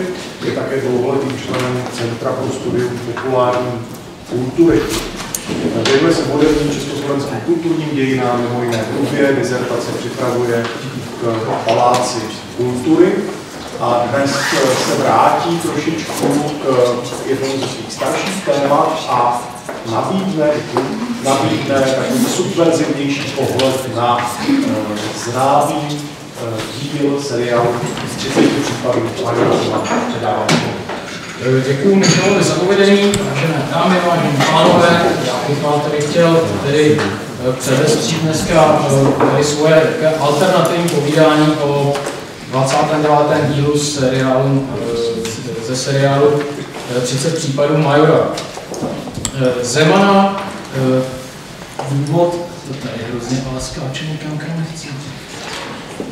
Tak, ten, ten důvod, proč se vlastně znova vrací takto strašně provazenému tématu, je, je ten, že, že bych to, ten výklad rád rozšířil trochu. A to tím způsobem, že začnu, se domnívám, že ta skupina Mimikry undergroundová, která je v seriálu vykreslená, podle mě nezobrazuje Plastic People of the Universe. A od toho se něco, něco potom odvine. To tady nechci teďka úplně odhalovat. Já bych chtěl ještě teda v tuhle chvíli radši zdůraznit, že se nebudu pokoušet nějak jako rehabilitovat ten státní socialismus nebo provádět nějakou jako politickou revizi nebo něco takového. Jako, můj zájem je skutečně jako čistě akademický, je to hypotéza, je to v diskuzi. Jo, ty, ty mimikry byly bez sporu hrubě manipulativní, dehonestovali underground, místy ty scény byly dost odporné a, a nepochybně byly i místy nechtěně naprosto komické. Ale i, i přesto bych se do toho rád pustil. Zmíním teda, z čeho jsem vycházel, Sehnal jsem si, ty, sehnal jsem si tady archivní materiály z té deváté zprávy státní bezpečnosti, což bylo něco jako PR státní bezpečnosti. Tady jsem si vlastně inspiroval tu knihu Daniela Ružičky, kde, kde on to uvádí jako pramenč. Já jsem si to znovu píčel, procházel jsem si to, hledal jsem tam ty plastiky, já jsem je tam jako nenašel. Já jsem si půjčil v archivu České televize ten originální scénář k mimikrám, taky zmínka o, o plasticích na něm, tak jsem procházel různý, různý publikace a vlastně jsem se dobral k tomu, že úplně přímý důkaz o tom, že by chtěli udělat plastiky, se nikde nenachází. Je možný, že se to někde najde, pak, pak mě opravíte.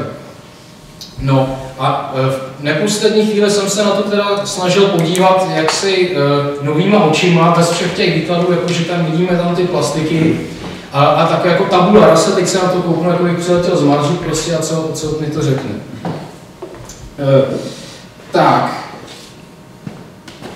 Proč tam nevidím Plastic People of the Universe? Tak jako, e, chtěl bych říct, že částečně je tam samozřejmě vidím, protože už ten umělecký výraz, jaký ty, e, jaká ta, ta kapela má, který je takový jako, jako drsný beat, ale velice jako chaotický a kakofonický, tak jako s přimouřením oka, s, s tím, jakému divákovi to bylo určeno, že to bylo karikující, tak by to jako mohly být Plastic People Universe, ale stejně tak by to být jakákoliv jiná undergroundová uh, skupina. Jsou tam ty náboženské motivy, které nápadně připomínají Pašiové hry velikonoční, které byly uvedeny na Velikonoce 1978 na hrádečku u Václava Havla, takže to by taky jako mohlo odpovídat. Ale když se koukneme dál, tak třeba uh, už to, že v té kapele vlastně mimikry hrajou dvě ženy a dva muži, tak to naprosto neodpovídá personální skladbě plastiků v 70. letech, kde hrajou jenom muži. Uh, a když se koukneme potom třeba do do studie Čuňase a, a, a Ladislava Kudrny o, o Rudolfovu, tak tam je vlastně zmíněno, že před obrazem tady těch vlasatců zmíněných v mimikrách, tak, tak byli skuteční vlasaci nebo máničky zadržení při takzvaném masakru v Rudolfově v březnu 1974, kdy tam byl undergroundový koncert, měli vystoupit plastici, najela tam policie, lidi tam strašně zbyla a e, pozavírala a pak je fotili. Fotky z toho zásahu potom dostal e, Jiří Sekvenc, re, režisér tady toho dílu a inspiroval se. A třeba inspirací pro e, frontmana Mimike, kterého tělesňuje Jiří Lábus, tak byl nějaký účastník toho koncertu František Češka. Takhle, takhle opravdu mu jako vypadal, měl ty lenonky, tak jako další vlasy, tu, tu, tu, tu bradu, jo.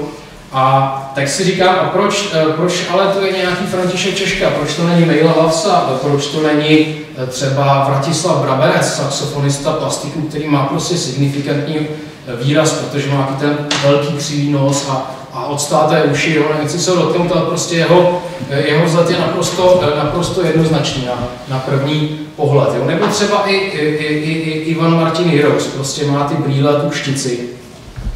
Navíc, tohle bylo uvedeno 1980, natočeno 78, když se vrátíme rok předtím, v roce 77 šel propagandistický dokument v televizi Atentát na kulturu, kde e, byly ale přímo plastici už vlastně ukázaný. Tam byly e, záběry z druhého festivalu druhé kultury v Bojanovicích. Tam byly DGčka, tam byly plastici, tam byl portrét e, Karáska, Magora, všichni tam byli zobrazeni, čili ty skutečné podoby plastiků už nebo, nebo, nebo DG307 už byly na televizi uvedeny a, a v té, v té, při tém masovém dosahu už jako jak si mohli nějakým způsobem být známy. Takže tady si třeba říkám, proč se vlastně jako neuchýlili k tomu, že, teda, by, že by ukázali ty skutečné protagonisty.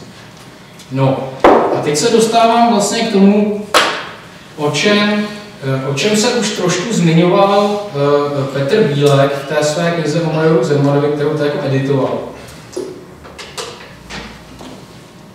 Totiž v tom, v tom díle vystupuje, ještě má tam takovou výraznou roli Zemanova dcera, kterou s, s lída, kterou stělesňuje Ivana Andrlová. A její přítel uh, uh, Oldřich Kaiser, taky, taky jedna z jeho, ne, z, z, nejneslavnějších rolí, kdy, kdy oni vlastně za, uh, oni vlastně představují studenty, mládež, která taktéž poslouchá Bigbeatovou hudbu ale v tu správnou chvíli se vlastně postaví za, za bezpečnostní složky za majora Zemana a, a proti, proti těm nevyspytatelným narkomanickým uh, hudebníkům z undergroundu se vlastně, uh, se vlastně uh, postaví. Tady vlastně uh, už se dostávám k tomu, že hm, jak bych ten výklad trošku rád rozšířil. A, a sice v tom, že podle mě tady nejde jenom o to zobrazení, že by dobrá strana v tom, v tom jako nějakým narrativním rozložení byla zastupovaná pouze bezpečnostními složkami, ale ona je tady zastupovaná vlastně něčím, co bych nazval jako povolený rok nebo jako tolerovaný rok, protože v 70. letech e, do určité míry nějaká roková hudba tady provozovaná byla v Československu. Jo? vycházel tady na, na deskách třeba Jazz Square, což byl jako jazz rock, Energy, další jako jazz rock. Do, v roce 74 dokonce v gramofonovém klubu Suprafonu vyšel troj LPčko Woodstock. Bych to měl jako nechutný úvod, že uh, americká mládež jako ještě nenašla tu správnou linii boje proti kapitalismu, tak jako aspoň berou drogy a, a snaží se udělat hudební festival, ale prostě vyšel troj LPčko Woodstock. No a, a to nemluvím jako třeba o Olympiku, ale tak o těchto těch jako ro, ro, rokových kapelách. Čili podle mě tady vlastně nejde jenom o to očernit to undergroundové subkulturní milie, ale jde taky o to vlastně uh, ukázat nějakou dělící čáru, že existuje teda nějaký povolený rok, který je OK, a pak je tady tenhle ten uh, nevyspytatelný, nebezpečný, k zločinu a narkomanii tíhnoucí underground, který je vlastně extrémní. který je nenapravitelný a který může vést až k tomu, že ty lidi jako unesou letadlo, což je zase ta narážka na ten, na, ten, eh, skuteč, na tu skutečnou událost z roku 1972, kdy skupina vlasatých Mániček skutečně to letadlo unesla vlastně, jak, jak píše ve, ve své knize Daniel Ružička, tak to byl vlastně původně jako nosný motiv toho, toho příběhu a, a když, když potom přišel proces s undergroundem nebo ty, ty, ty Bojanovice, tak, tak to bylo jako rozšířené o tu, o tu kapelu. A tím se vlastně dostávám tady k, i, i k, jako k tomu teoretickému zarámování Existuje koncept, který vyvinuli eh, eh, němečtí historici, kteří se zabývají eh, dějinami státního socialismu v NDR. Nazývají to vnitřní hranice diktatury. Já jsem to dal do, do, do uvozovek, že si nejsem jistý, jestli úplně ten, ten překlad, to je taková ta technická němčina, prostě no, vnitřní hranice diktatury. Jde, jde o to, že Jde o to, že ten režim vlastně dost často musel vytyčovat nějaké mantinely a ukazovat, co teďka vlastně jako je Eh, co je teď jako žádoucí, protože přece jenom docházelo tam k nějakým proměnám a, a, a politickým zlomům, jako nemyslím jenom rok 68, určitě tam bylo prostě eh, mnoho, mnoho dalších a eh, bylo teda potřeba občas vést lidi k nějaké seberegulaci, autocenzuře a podobně a k tomu teda brzy zjistil, že můžou vést i ty normalizační seriály, které byly nesmírně populárně sledované, což oni Eh, velice, velice dobře eh, věděli.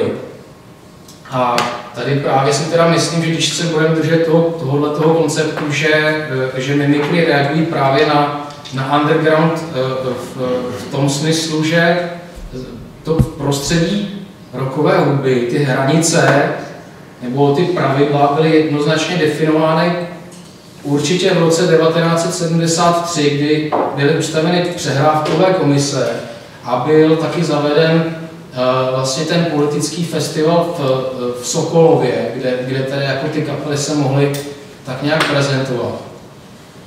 A do toho potom přišel, jako najednou se zjevil underground, který tohle začal vlastně porušovat a narušovat, že byl tam teda ten masakr v Rudolfově v roce 74, zpráva o třetím hudebním eh, obrození, kterou napsal Magor v roce 75, Bojanovice a, a proces undergroundem v roce 76. Takže um, směřuji naprosto. Takže, takže takhle. Takže, vlastně teda ta hypotéza, eh, ta hypotéza směřuje tady k tomu, eh, podle mě než nešlo o to eh, zobrazit, zobrazit přímo Plastic People of the Universe, ale šlo o to ukázat nějaký stereotypní obraz toho, co je underground, co je undergroundová kapela. A vytyčit teda nějaký rámec toho, co se eh, může považovat za nějaký povolený rok a toho, co už je extrém, co, co rozhodně nikomu nedoporučujeme. A i když se vlastně podíváme, když se na ten díl znova kouknete nebo si to vzpomenete, tam vlastně hodně často je ten major Zeman, uh, uh, půlku toho dílu není ani tak moc policajt, ale jako otec. On se snaží neustále se vracet k té svojí dceři, promlouvat s ní, ona si tam taky pouští něco, co zní jako jazz rock v tom svém pokojíčku, on se o to zajímá.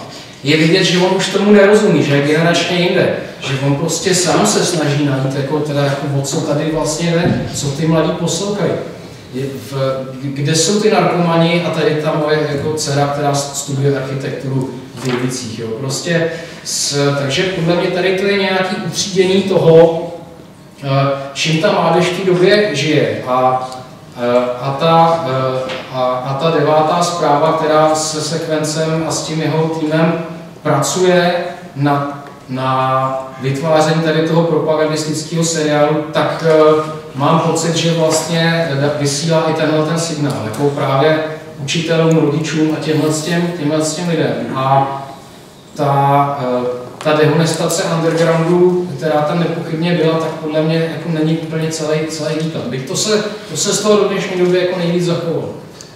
No, takže je to poměrně asi jako, jako banální vysvětlení, ale e, já, mám, já mám pocit, že jsem to ještě ne, neslyšel, tak jsem se rozhodl, že to tady dneska pronesu. Děkuji za pozornost.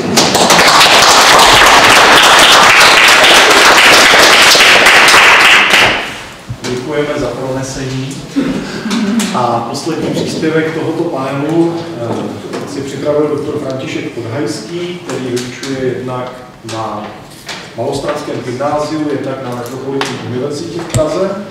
Zabývá se mimo jiné intelektuálními dějinami. V letošním roce vyšla, vyšel třetí svazek Macurových spisů, Šťastný věk a další studie o literatuře a kultuře 20.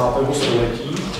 A bude se věnovat seriálu Okres na severu, a ve své anotaci přislíbil, že eh, hlavní postavě okresu na severu se pokusí vrátit plnohodnotný politický rozměr z hůry toho. Budu se snažit uh, den, já budu asi chodit toho, těch hezkých čtvrtcích jsem trošku se zasnil, tak se probudím a propravím se. Uh, chodit do horké kaše. Okres na severu je můj oblíbený seriál. Já když jsem to viděl před deseti lety, tak jsem byl fascinovaný tím, jak to neodpovídá nějakému obrazu, který jsem si předsudečně utvořil a dokonce jsem ho potom doporučoval některým americkým akademikům, kteří z něho byli taky svým způsobem jako nadšení. A takže a, pak se stal nějakým předmětem nějakých zajímavých diskuzí. Tady v podcastu vidíte, že ten celkový dojem z tohoto seriálu asi stále odpovídá tomu původnímu předsudečnímu. Máme tam to procentuální procenta, současná ze včerejška na ČSFD 29% jenom té obliby a asi, eh, když vidíme tady konkrétně jedna hvězdička dvakrát, potom asi osmkrát odpad. To si myslím, že odpovídá té realitě, tomu, jak to ten Díkl napsal a Sokolovský zrežíroval a konec konců i Můčka a další eh, se hráli. Jo, je to tak, skáče to velmi rychle. Tak, když se budu pokoušet o nějakou jeho hmm, ideologickou analýzu, tak napřed je dobrý si říct, co pod tím rozumím, nějaký tři vrstvy. Propaganda je jedna vrstva té uh, ideologické cibule. Působení po expozici nastolování tématu, tom krásně hovořil Martin Stoll. Uh, z mého hlediska pro tu interpretaci je důležitá jedna, vlastně jediná věc. Před tím rokem 89 okres na severu je silný v tom, že pokud jde o to nastolování témat a tak dále, o tu propagandu, Obyčejně to měříme jako, jako takový stupněma. Jo? Máme nějaký, uh, budeme mít nějakou skupinu lidí a když všichni ponesou nějaký transparent, třeba uh, podporujeme Izrael, tak to je nastolení nějakého tématu a budeme sledovat jako um, dobrý případ. Taky ne. Uh, koukáme se, koukáme se na nějaký DAF, televizi vzadu, a všichni tam budou mít tričko Coca-Cola. Nám přijde divný a budeme to brát, že to bylo asi zaplacená nějaká reklama, že ty Coca-Cola na těch tričcích je tam moc. A v případě okresu na severu, té doby 80. let, šlo posuzovat ty seriály podle toho, kolik do nás spolu té propagandy. No. Kolikrát je tam Vista Lenina, kolikrát je tam uh, Vista Gotwalda, kolikrát se tam řekne Čes práci. No ale když se to odehrává na okresním výboru komunistické strany Československa, tak Gottwald, Vista Gottwalda, Vista Lenina, pozdrav Čes práci, je něco absolutně normálního. Starý, tady postup, popsaný ruskými formalisty, obnažení metody by se na to asi dal taky aplikovat. Takže tady najednou ta eh, propagandistická rovina do určitý míry zmizí. Protože tady to máte bez nějaký propagandy. Tady je propaganda na svém vlastním místě. No.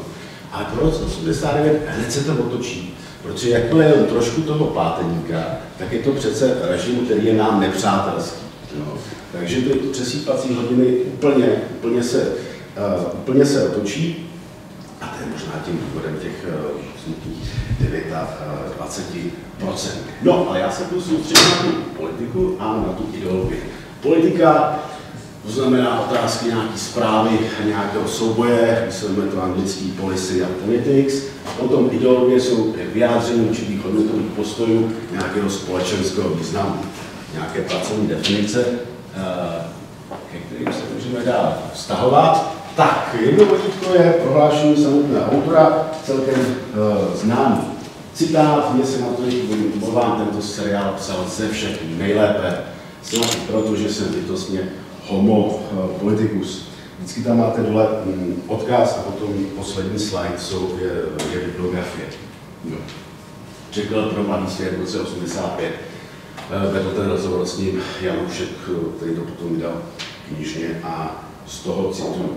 Takže vlastně ten několik časy, čtyři roky po tom odvysílání, protože ten rozhovor je původně z roku 85, Dietl má potřebu, anebo možná, možná po dohodě s tím eh, tazatelem, eh, se o tom seriálu ještě bavit a vlastně vyjádřit k němu svůj vztah.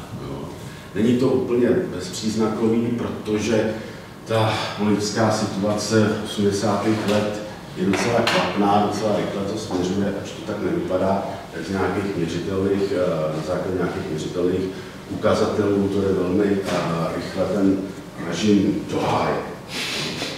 To je, stačí si říct, že v tom roce 85, teď eh, nemám doklad, Husák říká na tom, eh, na tom říká, nevíte, že to je do prdele, dělejte s ním sakra něco. Nějaký uh, drp, nebo uh, možná je to i historicky doložené, myslím, že to z nějakých pamětí někoho, někdo jste Štroubela nebo. Tak, uh, druhý citát. Teď už se dostávám k tomu, jak vlastně historici filmoví se vymezili. Tady jeden si vymezil nebo nějak komentoval před zrovna tomhle fóru ve dvojce film a dějiny. Zde si snad můžeme dovolit provokativní myšlenku, že pokud by se Beatle dožil roku 89, tak by možná řekl, že do seriálu Pes na severu se mu podařilo dostat řadu kritických pohledů. Jo. Je to napsáno opatrně, ale myslím, že to celkem míří na hlavičku toho uh, řevíku, uh, nebo podává to jednu tezi, se kterou budu pracovat, ke který se později ještě vyjádřit, to, že je tam přidáváno nějaké superzivní poselství. Řeknu, když jsem ho před těma deseti lety ho tam viděl a teď při té nové projekci vlastně, kdy už ho tam nevidím a řeknu proč vlastně v závěru, že to pointa, kam budu směřovat. A teď citát z Pauliny Bremzy, z její uh, knižky známé o zelenáři v televizi. Naopak ten citát říká, že vlastně ta politika tam sice je, ale je daná do nějakého osobního kontextu. A vlastně je tam vytlačovaná, že ta skutečná politika, jak my si představujeme, s občanskou participací a tak dále, tak tady je mimo, mimo kontext toho světa, okresu na severu. No, zůstala základní, ale byla včleněna do soukromého života, vyprávění, čím se vyhýbala veřejné sféře, nevyužívají. Tak a teď už, co k tomu přidám já, tak.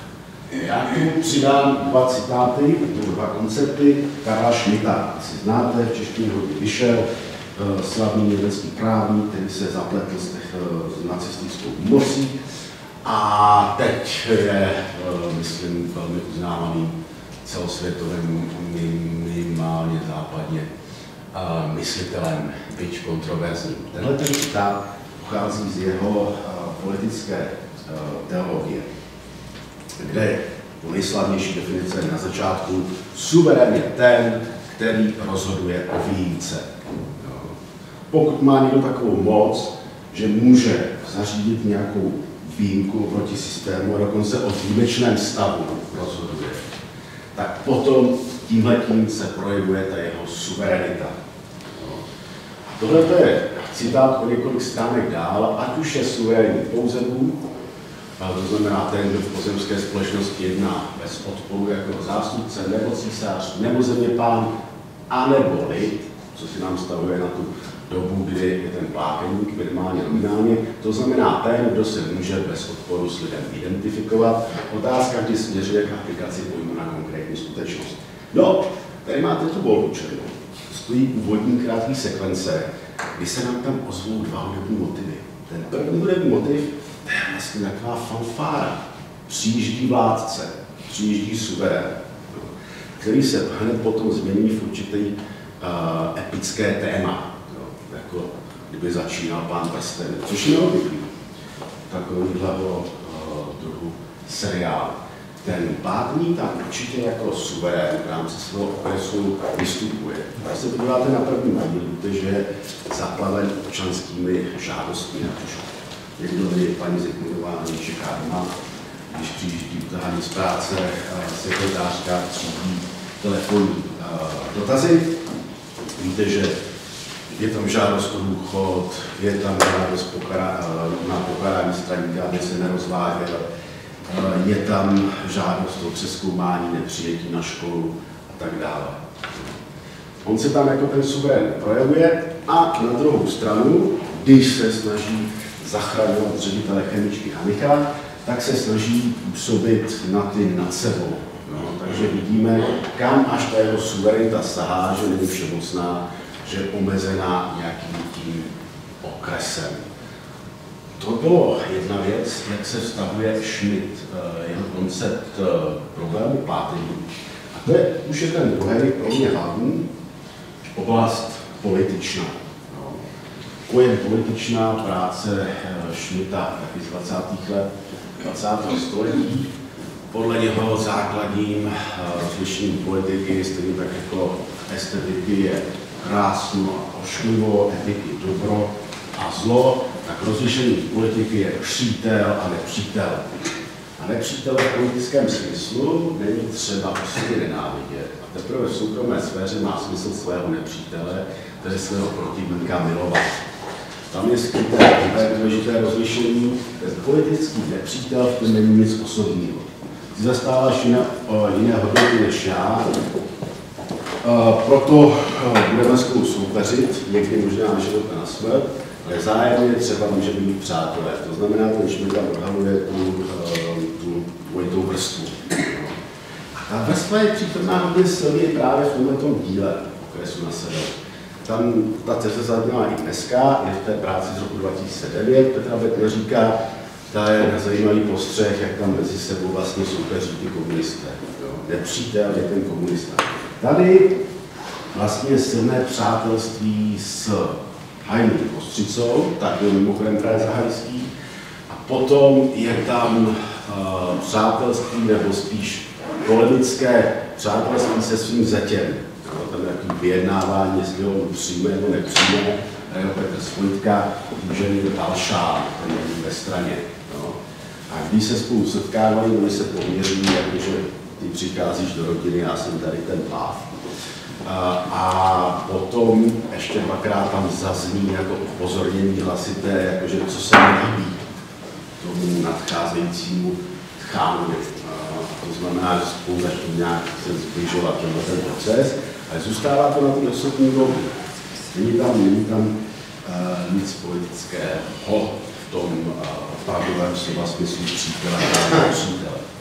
Tak, ten trochu čas. Vydáte to se 12 minut, takže ještě nějakých 7. Teď jsem super, děkuju. Budeme rychle. Ilustrativně z prvního dílu. Tady máme eh, první zasedání pohled, které tam proběhne. Tady máme předsedu zemědělského družstva Ondříčka a eh, teda šéfa stranické organizace v místních chemičce Andrýse. No. A Celá je to vlastně ústřední bod toho prvního dílu. Odehraje se to zhruba 25. do 40. minuty. Tam je vlastně to dramatické jádro. A je to schůze okresního výboru. Ale mě zajímavá, protože se tam právě odehrává nějaký politický boj. A my prostřednictvím toho Ondříčka a toho Andrýse můžeme pochopit, jak to tak zhruba vypadá. Předseda zemědělského družstva přijde vyklepaný, bojí se, je tam nejistý v tom prostředí.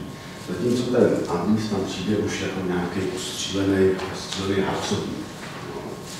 To vidíme do chvíle, kdy eh, Andrýs, teda hlavní souboj je Andrýs a zástupce pláteníka pro průmysl Jiřík, Petr Oliva, a ten napadne toho Andrýse a jsou tam, je tam, je tam velký souboj. Jo? Jak to, že jste neudělali analýzu. Jo? Řešíte nějaké nepodstatné věci, rozbile se u vás teorie náhody, nikdo za to nemůže, a přitom tam máte mrtvý, máte tam milionové škody. Jo? Oproti tomu Andrýs říká, že tohle, co jsme udělali, lidský aspekt, bylo potřeba, nešlo to, nešlo to dělat jinak. Když, se, když vyjde kotletý hádce, se kterým by se asi Ondříček vyděsil, tak má spokojený výraz. Jo. A dokonce i prozradí proč, když mu říká s takovým úsměvem, trochu jsme se tam rohovali. Řešili jsme nějaký podstatní věci, proběhlo to politické nepřátelství. Na Ondříčku je ukázáno, že on vlastně není schopný to vnímat. Páteník má pro něho připravenou vlastně opakující se otázku, viděl jsem v krámě řetvičky, nestáli za nic, co s tím uděláte. On na to nedokáže reagovat, nedokáže s tím třeba začít jednat. To, kdyby, jestli chceš hezčí, musel bys mi uh, zajistit tohle a tohle, jinak to u nás už tu neudělá. Nezačne prostě s ním bojovat, nezačne s ním rohovat. To je vlastně další obnažení těch postupů, který proběhne v tom prvním díle. Tak, tady nějaký moje finální rozhodnutí, uh, dva závěreční slajdy. Ten první hlavní nepřítel asi pláteníka v celém tom oblouku 13 dílném právě Milošek, to je první oslovení, které tam proběhne. Pejřík, podle mě, když to shrnu, tam zastupuje nějaký manažerismus jo, v průběhu. To znamená, nejde mu o to, že ten Hanik je možná skvělým nebo lidským vedoucím té chemičky, nebo to, že vznikla nějaká škoda obrovská, je tam potřeba udělat z toho nějakou odpovědnost. Pak je druhá věc, že osobně velmi ambiciozní, to osobní soukromí jeho. To zastupuje Nejřík. Tu hodnotu, kterou zastupuje, zastupuje ten seriál Plátení, nazval jsem to obecně humanismus, měli jsme říct lidský aspekt. Každopádně tyhle ty dvě hodnoty jsou v nějakém rozporu. Pak tady mám malou notabene, která se vztahovala na to předchozí, na ten souboj, na tom OB, že v politice jsou fráze pracovní nástroje. No. Byla jedna věc, vlastně, kterou jsem si uvědomil při tom opakovaném sledování, že vlastně nemám sledovat tu frázi, mám si uvědomit, že tam probíhá nějaký boj a že ty autoři tam ten boj opravdu chtěli zobrazit. Tak, poslední slide, jdeme k soukromému. To je další moje, myslím si, interpretační chyba. Když jsem si uvědomil, že tam ten souboj mezi tím nějaký ideologický, mezi tím humanismem, tím manažerismem, tak jsem nevnímal uh, hezkou procházku hajného kostřici a páteníka do čtvrtého dílu případ. Tam je ten průšvih, další nepřítel, komunista Soldán, vede špatně doly, vypadá to tam strašně. A oni si to dolů jedou. To bylo přímo, to vypadá jako nějak, jako kdyby mafie jela sundat nějakého místního bose. Jedou v té Tatře a uh, jsou na nasupení. Všichni tři. A chovají se k němu jako tomu nepříteli. Jako vyložení, protože on skončil po tom, co udělal. A tady, mm, tady je, je vyprávění Hajděho Kostřici, který já jsem vnímal vlastně před deseti lety jako souboj mezi plánovanou a tržní ekonomikou. On vypráví o městě Brazílii, postavili tam dálnici, kolo toho vykáceli ty lesy, sokeláku tam, sokeláku sem, postavili si tam uh, nové domy a ono to nefungovalo. Jsem říkal, jasně, to je něco subverzivního, co tam ten Beatle, co tam ten uh, Beatle dává. Teď, když jsem si to ještě jednou pustil, tak jsem si uvědomil, že spíše tam ten rozdíl mezi tím humanismem a manažerismem, manažerismus, vykácení těch lesů, uh, poslání tam těch uh, osadníků a jim se tam nedaří. Ne, ne, tyto kostřice shrnuje, každý z nás potřebuje kolem sebe takový ochranný stromy. A teď přijde ta pátenková vlastní osobní interpretace, když máme pevnou, že ty ochranné stromy jsou pevná partajní organizace, která člověku nedovolí, aby uhnul. To znamená, to je to jeho pojetí humanismu. Obecně ten humanismus, ale pro něho ten humanismus uh, prochází skrze ten aparát, uh, který je, kterým je členem. Tak, já myslím, že ten čas se mi podařil dobře. Děkuji za pozornost a je ten závěrečný slide si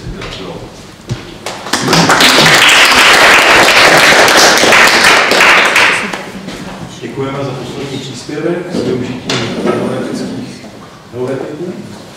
A otevírám diskuzi k té tři části konference. má někdo dotaz nebo rozvedení, může jej nebo je vznést. Já bych se možná zeptal pana Bednářka, mě zaujala ta inženýrská Odisa, kde byla postava toho stranického témníka Tesaře, která vypadala trošku jako bezprizorně, jak tam vlastně vstupovala tak nějak náhle a nic moc nepomohla. A vlastně mě napadlo, když jsem se nad tím pak zamýšlel, jestli je možný u těle seriálu, to nejenom u inženýrský Odyssey, u jiných, stopovat vlastně, kdy tam ty postavy té přípravě scénáře vstoupily. A jestli se třeba stalo někdy to, že nějaká postava tam byla dopsaná třeba až na konci, tam prostě někomu schvalujícímu ten materiál chyběla nějaká postava, tam řekli, dejte nějaký tesaře, aby to bylo třeba pro nějaký jako schvalovací martyrium lepší. A jestli se třeba jako způsobem nějaká postava, nemusí ten tesař, nemusí vůbec být, může někdo jiný. Takhle jako vlastně identifikovat jako někdo ex post na žádost někoho jiného, dopsaný, zahraný a potom nám jako divákům přišlený.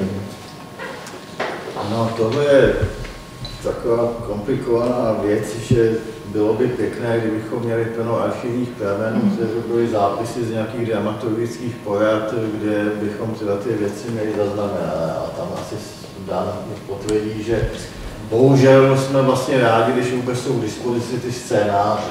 Hmm. Takže vlastně jako mít nějaké zápisy, přičemž u tohle seriálu, jasně, kde to bylo projednávané i na té úplně nejvyšší úrovni, ale celkově vlastně, když si člověk jako promítne ty seriály Jaroslava Dítla, tak on eh, skutečně velmi často pracoval s tím motivem toho stranického tajemníka, který v pravou chvíli přijde. Ono už jako v tom seriálu nejmladší zrodu Hanu, který se bere jako ten první, skutečně takový jako psaný modlem na objednávku, tak taky.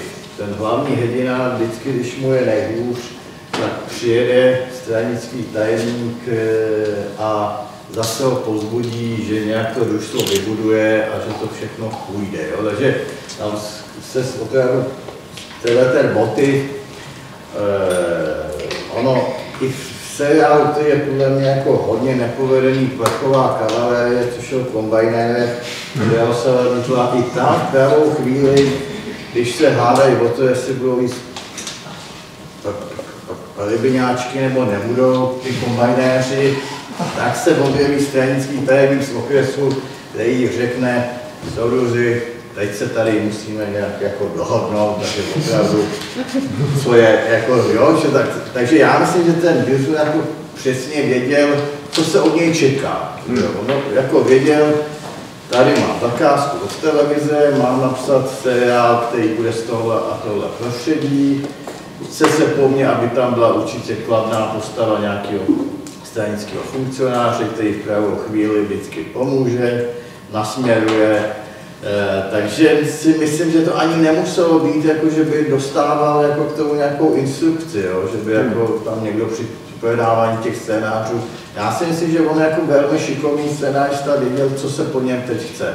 Hmm. Jo, ono toto máte třeba ten okres e, na severu, e, tam můžeme třeba doplnit ještě velmi zajímavou dějovou linii, jako upomínající na rok 68.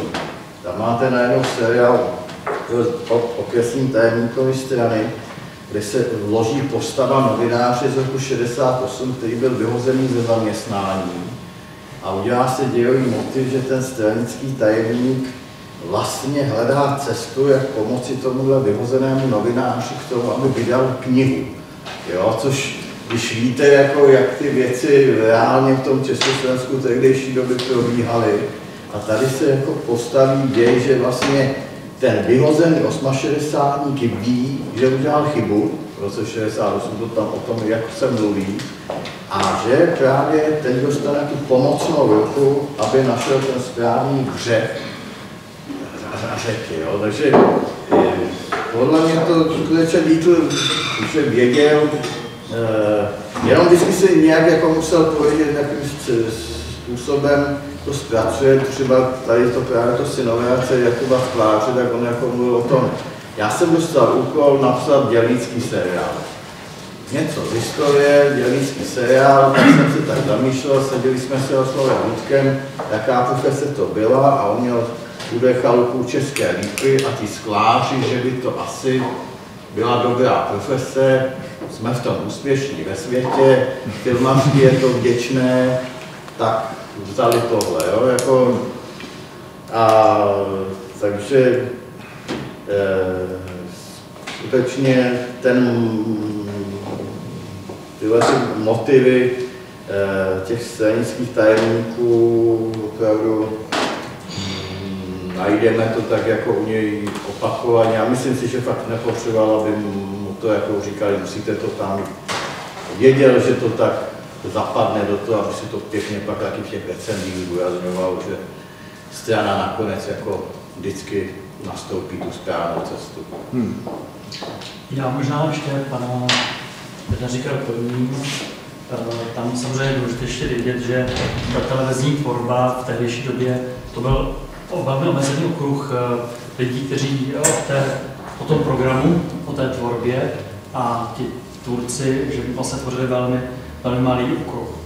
A samozřejmě ti lidé v těch různých stupních toho řízení nebo toho, nebo toho výkonu, to je ten tvůrčí práce, měli na sebe navázány různé skupiny různých lidí.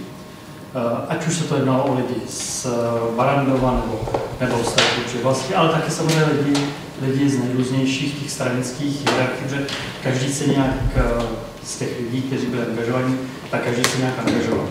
Takže měli vlastně možnost mít nějakého společného tajemníka třeba, nebo předsedu závodního výboru KSČ, nebo nějakého referenta, nebo nebo prostě i, i předsedu nějaký společenské organizace, jako SČSK. A tyhle ty lidi se vlastně samozřejmě všichni znali a jenom někteří si udrželi postup určitě, ale ti lidi se znali, protože televize vlastně malý prostředí, no, bývala malé prostředí. Takže tam pak i jako nemuselo být jenom to, že je nějaká dramaturgická porada, k tomu směřu, na které by se řeklo, je potřeba tam přepsat tomto postavu, nebo je to potřeba vést tím směrem, nebo je potřeba dát nějaký federální prvek, stačilo, když se vlastně potkali dva, řekli, hele Pepo, nebylo by dobrý tam ještě jako přidat třeba. A Pepa se zamyslela a řekl možná, že jo. Hmm. jo ale to nemusel být případ právě uh, Jaroslava Vítla, který třeba věděl, protože samozřejmě byli tvůrci, kteří věděli, co mají psát, byli tvůrci, kteří to museli být přinuceni a byli tvůrci, kteří prostě se radši vlastně věnovali úplně nepolitické tvorbě, neangažované tvorbě. Těch bylo málo, se tam ty ten režim trošku hýčkal, nebo ta reakce trošku hýčkala, ale, ale byli tam většinou ti, kteří teda buď byli angažovaní, nebo udělali to, co bylo potřeba. Ono, ono to vlastně bylo i po revoluci, trošku znát po roce 90, kdy vlastně tvůrci najednou neměli tu společenskou objednávku na pořady proti nepřátelům komunismu nebo za lepší komunistické zítřky, ale byla poptávka samozřejmě najednou po programech, které nějakým způsobem reflektovaly tu minulost. Takže najednou ti tvůrci, kteří tvořili do roku 89 něco, tak najednou po roce 89 tvořili zase opak. To bylo třeba jako dokumentární tvorbě nebo publicistice, stačí, když se podíváte na třeba zpravodajství nebo i na publicistické pořady, které tady byly sondě, nebo, nebo máte slovo takové, teda nemáte slovo Kmíní Širokové, ale máte slovo tehdejší, nebo volnou tribunu, tak když se na to vlastně podíváte v archivu, tak vlastně zjistíte, že ti lidé, kteří prostě horovali za přestavbu a proti někomu najednou horují úplně za tržní hospodářství a zase proti těm původním. Hmm. A je to, je to jenom prostě o tom, že ta, a ta televize ještě byla jeden velký zaměstnavatel. Takže vlastně zatímco dneska jsou tvůrci na volné noze, kameramani, režiséři, různé profese se najímají, takže nemusí mít úplně identifikovaný názor s tou institucí třeba, kdyby ta televize byla komunistická a měla ty tvůrci, kteří se eh, na volnou, volnou připojují té televizi, tak vlastně by se nemuseli překvapit, že prostě televize je komunistická. Takže to tehdy nebylo, protože všichni byli zaměstnanci. Hmm. se byl zaměstnanec redakce, dramaturg byl zaměstnanec redakce, byl nad ním táta šéf redaktor, který vlastně uplatňoval nějakou politiku, byli tam nějací tajemníci pro politickou práci, kteří jako předášeli ty myšlenky. A hlavně základní organizace KSČ, která, která vlastně mohla dávat nějaké závazky. Blíží se sjezd sjezd eh, SSM, pojďme udělat třeba seriál nějakých podhlasovat se na základě, na skutky základní organizace, že takhle to všechny ty lidi tam vlastně fungovali a všechny to vlastně vstupovali. A to, že někde vlastně jako nejsou ty záznamy z těch dramaturgických porad, to je vlastně úplně příznačný. Takový, když, když samozřejmě jdete do Zemana, když budete eh, materiály Zemana, Majeru Zemanovi, tak tam je najdete, protože to se dělalo z Barandov. A Barandov na to je navyklý. Hmm. Takže tam, tam ty věci analyzoval vlastně jako na hodně oficiální úrovni. Když to v té televizi opravdu stačilo jenom jako si říct výstřižně takhle ne, nebo tohle, nebo připsaní toho scénáře. Hmm. Díky moc, to vysvětlení. Ještě takhle svou balíme, můžu ještě otázku na vás taky. Jo. Uh, u té Ameriky mě vlastně zaujalo, jak eh, bylo možné jako vysílat prostě záběry ze seriálu, který by na jiných okolností prostě nemohl být vysílaný běžně v tom programu, protože jako, jmenoval oficiální výkladu a tak dále. A napadlo mě, když tam potom ten sovětský mluvčí nebo ruský mluvčí v tom krátkém šotu říkal, že se nám pochopil, že viděl roku čtyřku a viděl Ramba a tak dále. Jestli existovaly případy, kdy se třeba byla nějaká krátká reportáž, kdy se prostě reportáž typu ten americký film opět prezentuje to nejvohlavnější, co může. Tady vznikl nový film, který se jmenuje Rambo, je to hrozné. A záběr trošku z toho filmu, který by byl doprovázen nějakým sugestivním komentářem. Myslím, by to bylo možné z hlediska toho, že by ty záběry měly k dispozici. A jestli by to bylo možné z hlediska těch zájmů, těch, co ten program připravovali, co, tu, co tu reportáž by připravovali, jestli by to třeba mohlo, řekněme, jako být užitečné. A nebo jestli to je prostě úplně výstřel do tmy a to, to se prostě nedělo. Že by byla reportáž o tom, že vzniknou roky čtyři a fuj, fuj, fuj.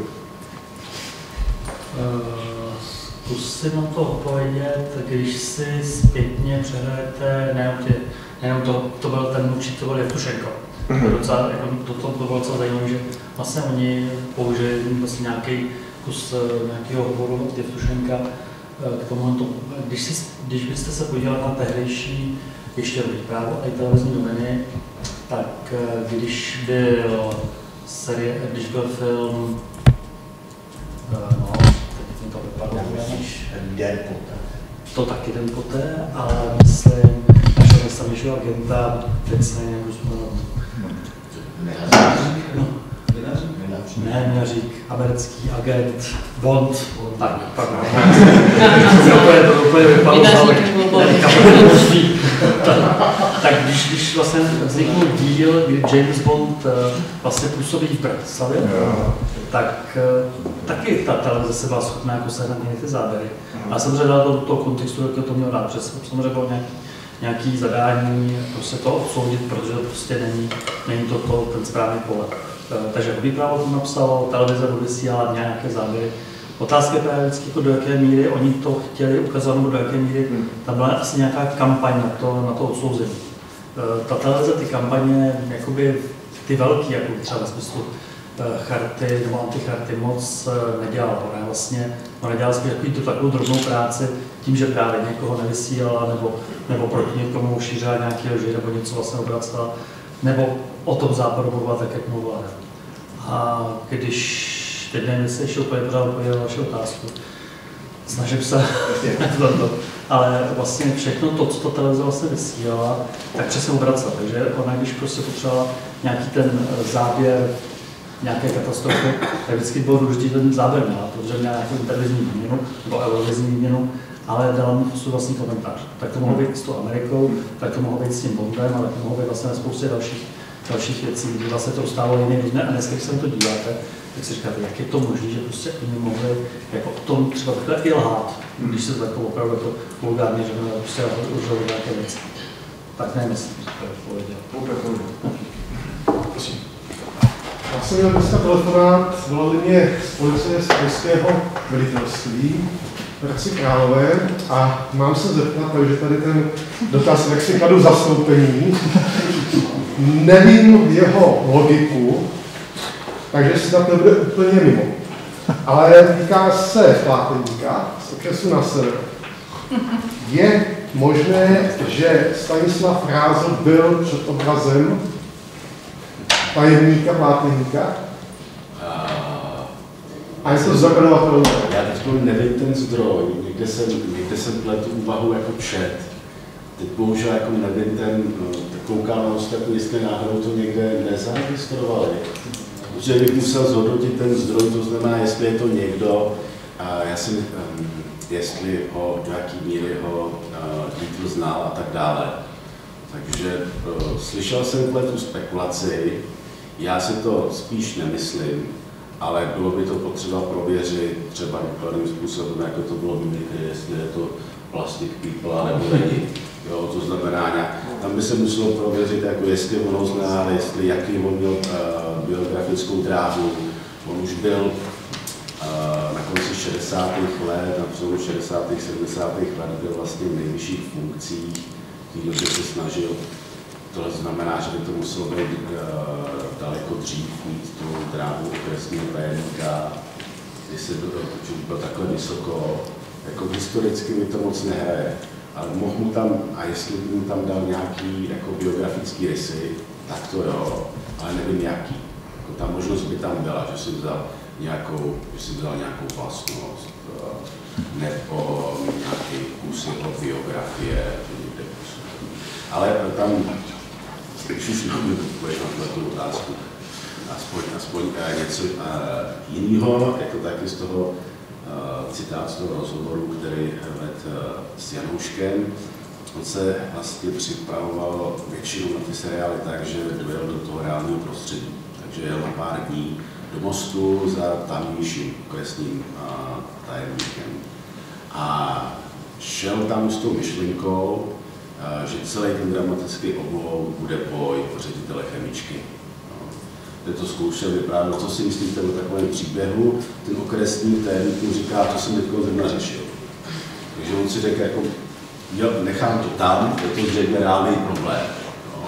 A takže klidně ten základní dramatický oblouk se si vymyslel a hned to potvrdila ta konzultace s okresním tajemníkem Mosty, byl taky nějakým reálným asi před obrazem, když ho pět dní sledoval, co tam dělá, jak tam probíhá práce na tom sekretariátu. Jestli, jestli se můžu ještě, za to můžu, tak právě, právě jako ten okres severu se poměrně i probíral v různé publicistice a myslím si, že to bylo i v rámci SOM, tam vystoupil nějaký vedoucí okresní tajemník eh, a nějak to tam komentoval, prostě jaká je teda ta jeho každodenní pracovní realita.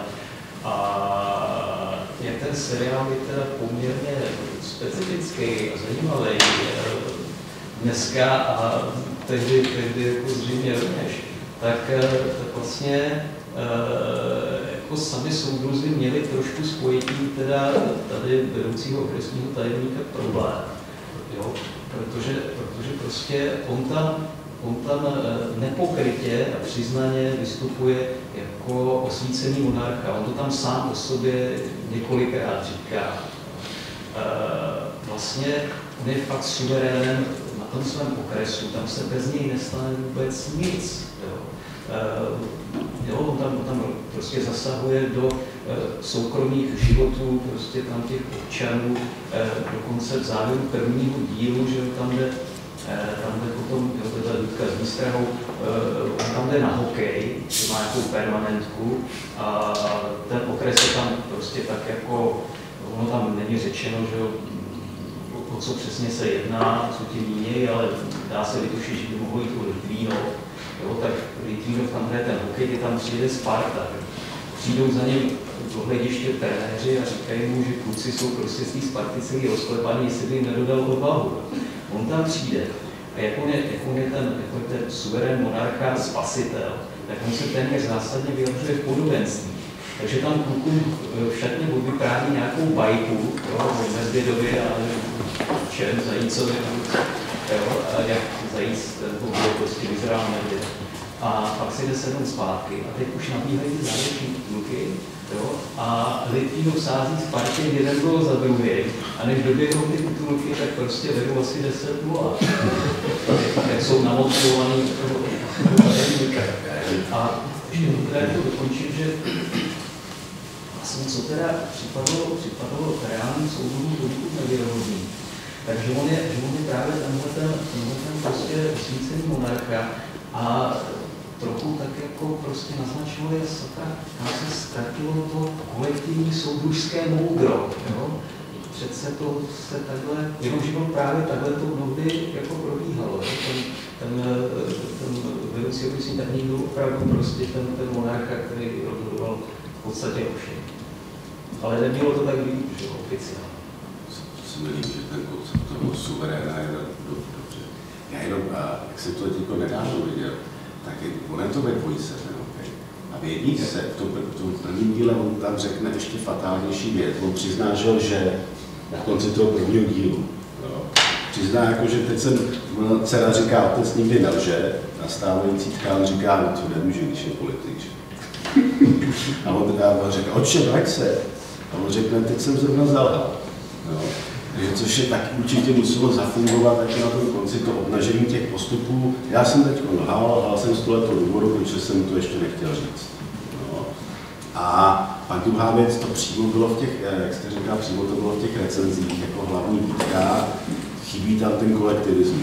Všechno se to stahuje k tomu individu toho pláteníka. No, takže taky tam nevím, jaký asi to nemělo dopady, ale to je jenom kritika.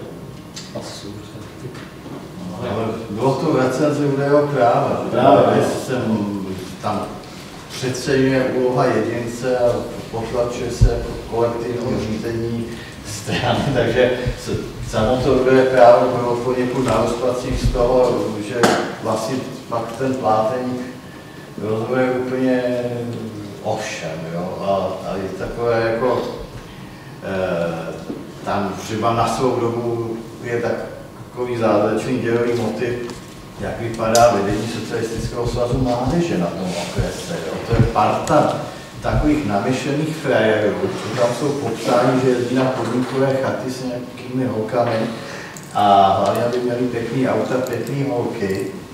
A to, to se, jako, se tam jako jede tenhle ten dělový motiv. A ten seriál má vždycky to, aby to ve výsledku bylo, že ten pláteník pak ale pozná ty chyby a udělá to rozhodnutí, jak to napravit.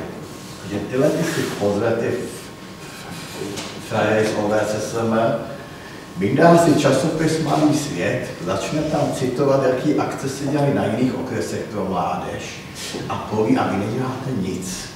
Jo? A pak v dalším díle tam přijde nový vedení OVSSM, plný krásných plánů, co se tam teďka v tom okrese bude dělat a jsou do to spokojení tam jako pokyvuje. No, protože opravdu jako ten seriál říkal, hokejisti se bojí, přijde tajemník, vyhrává. Jo? Tam opravdu to působí dojmem, že není nic v tom okrese, co on by nevěděl, jak se to má dělat, jak lidem poradit, koho dostat eh, do těch funkcí, jo? že to fakt jako ti ostatní tam působí takový jako jenom doplněk toho, co jsou pláteník dneska řekne zase za ten správný směr naší politiky.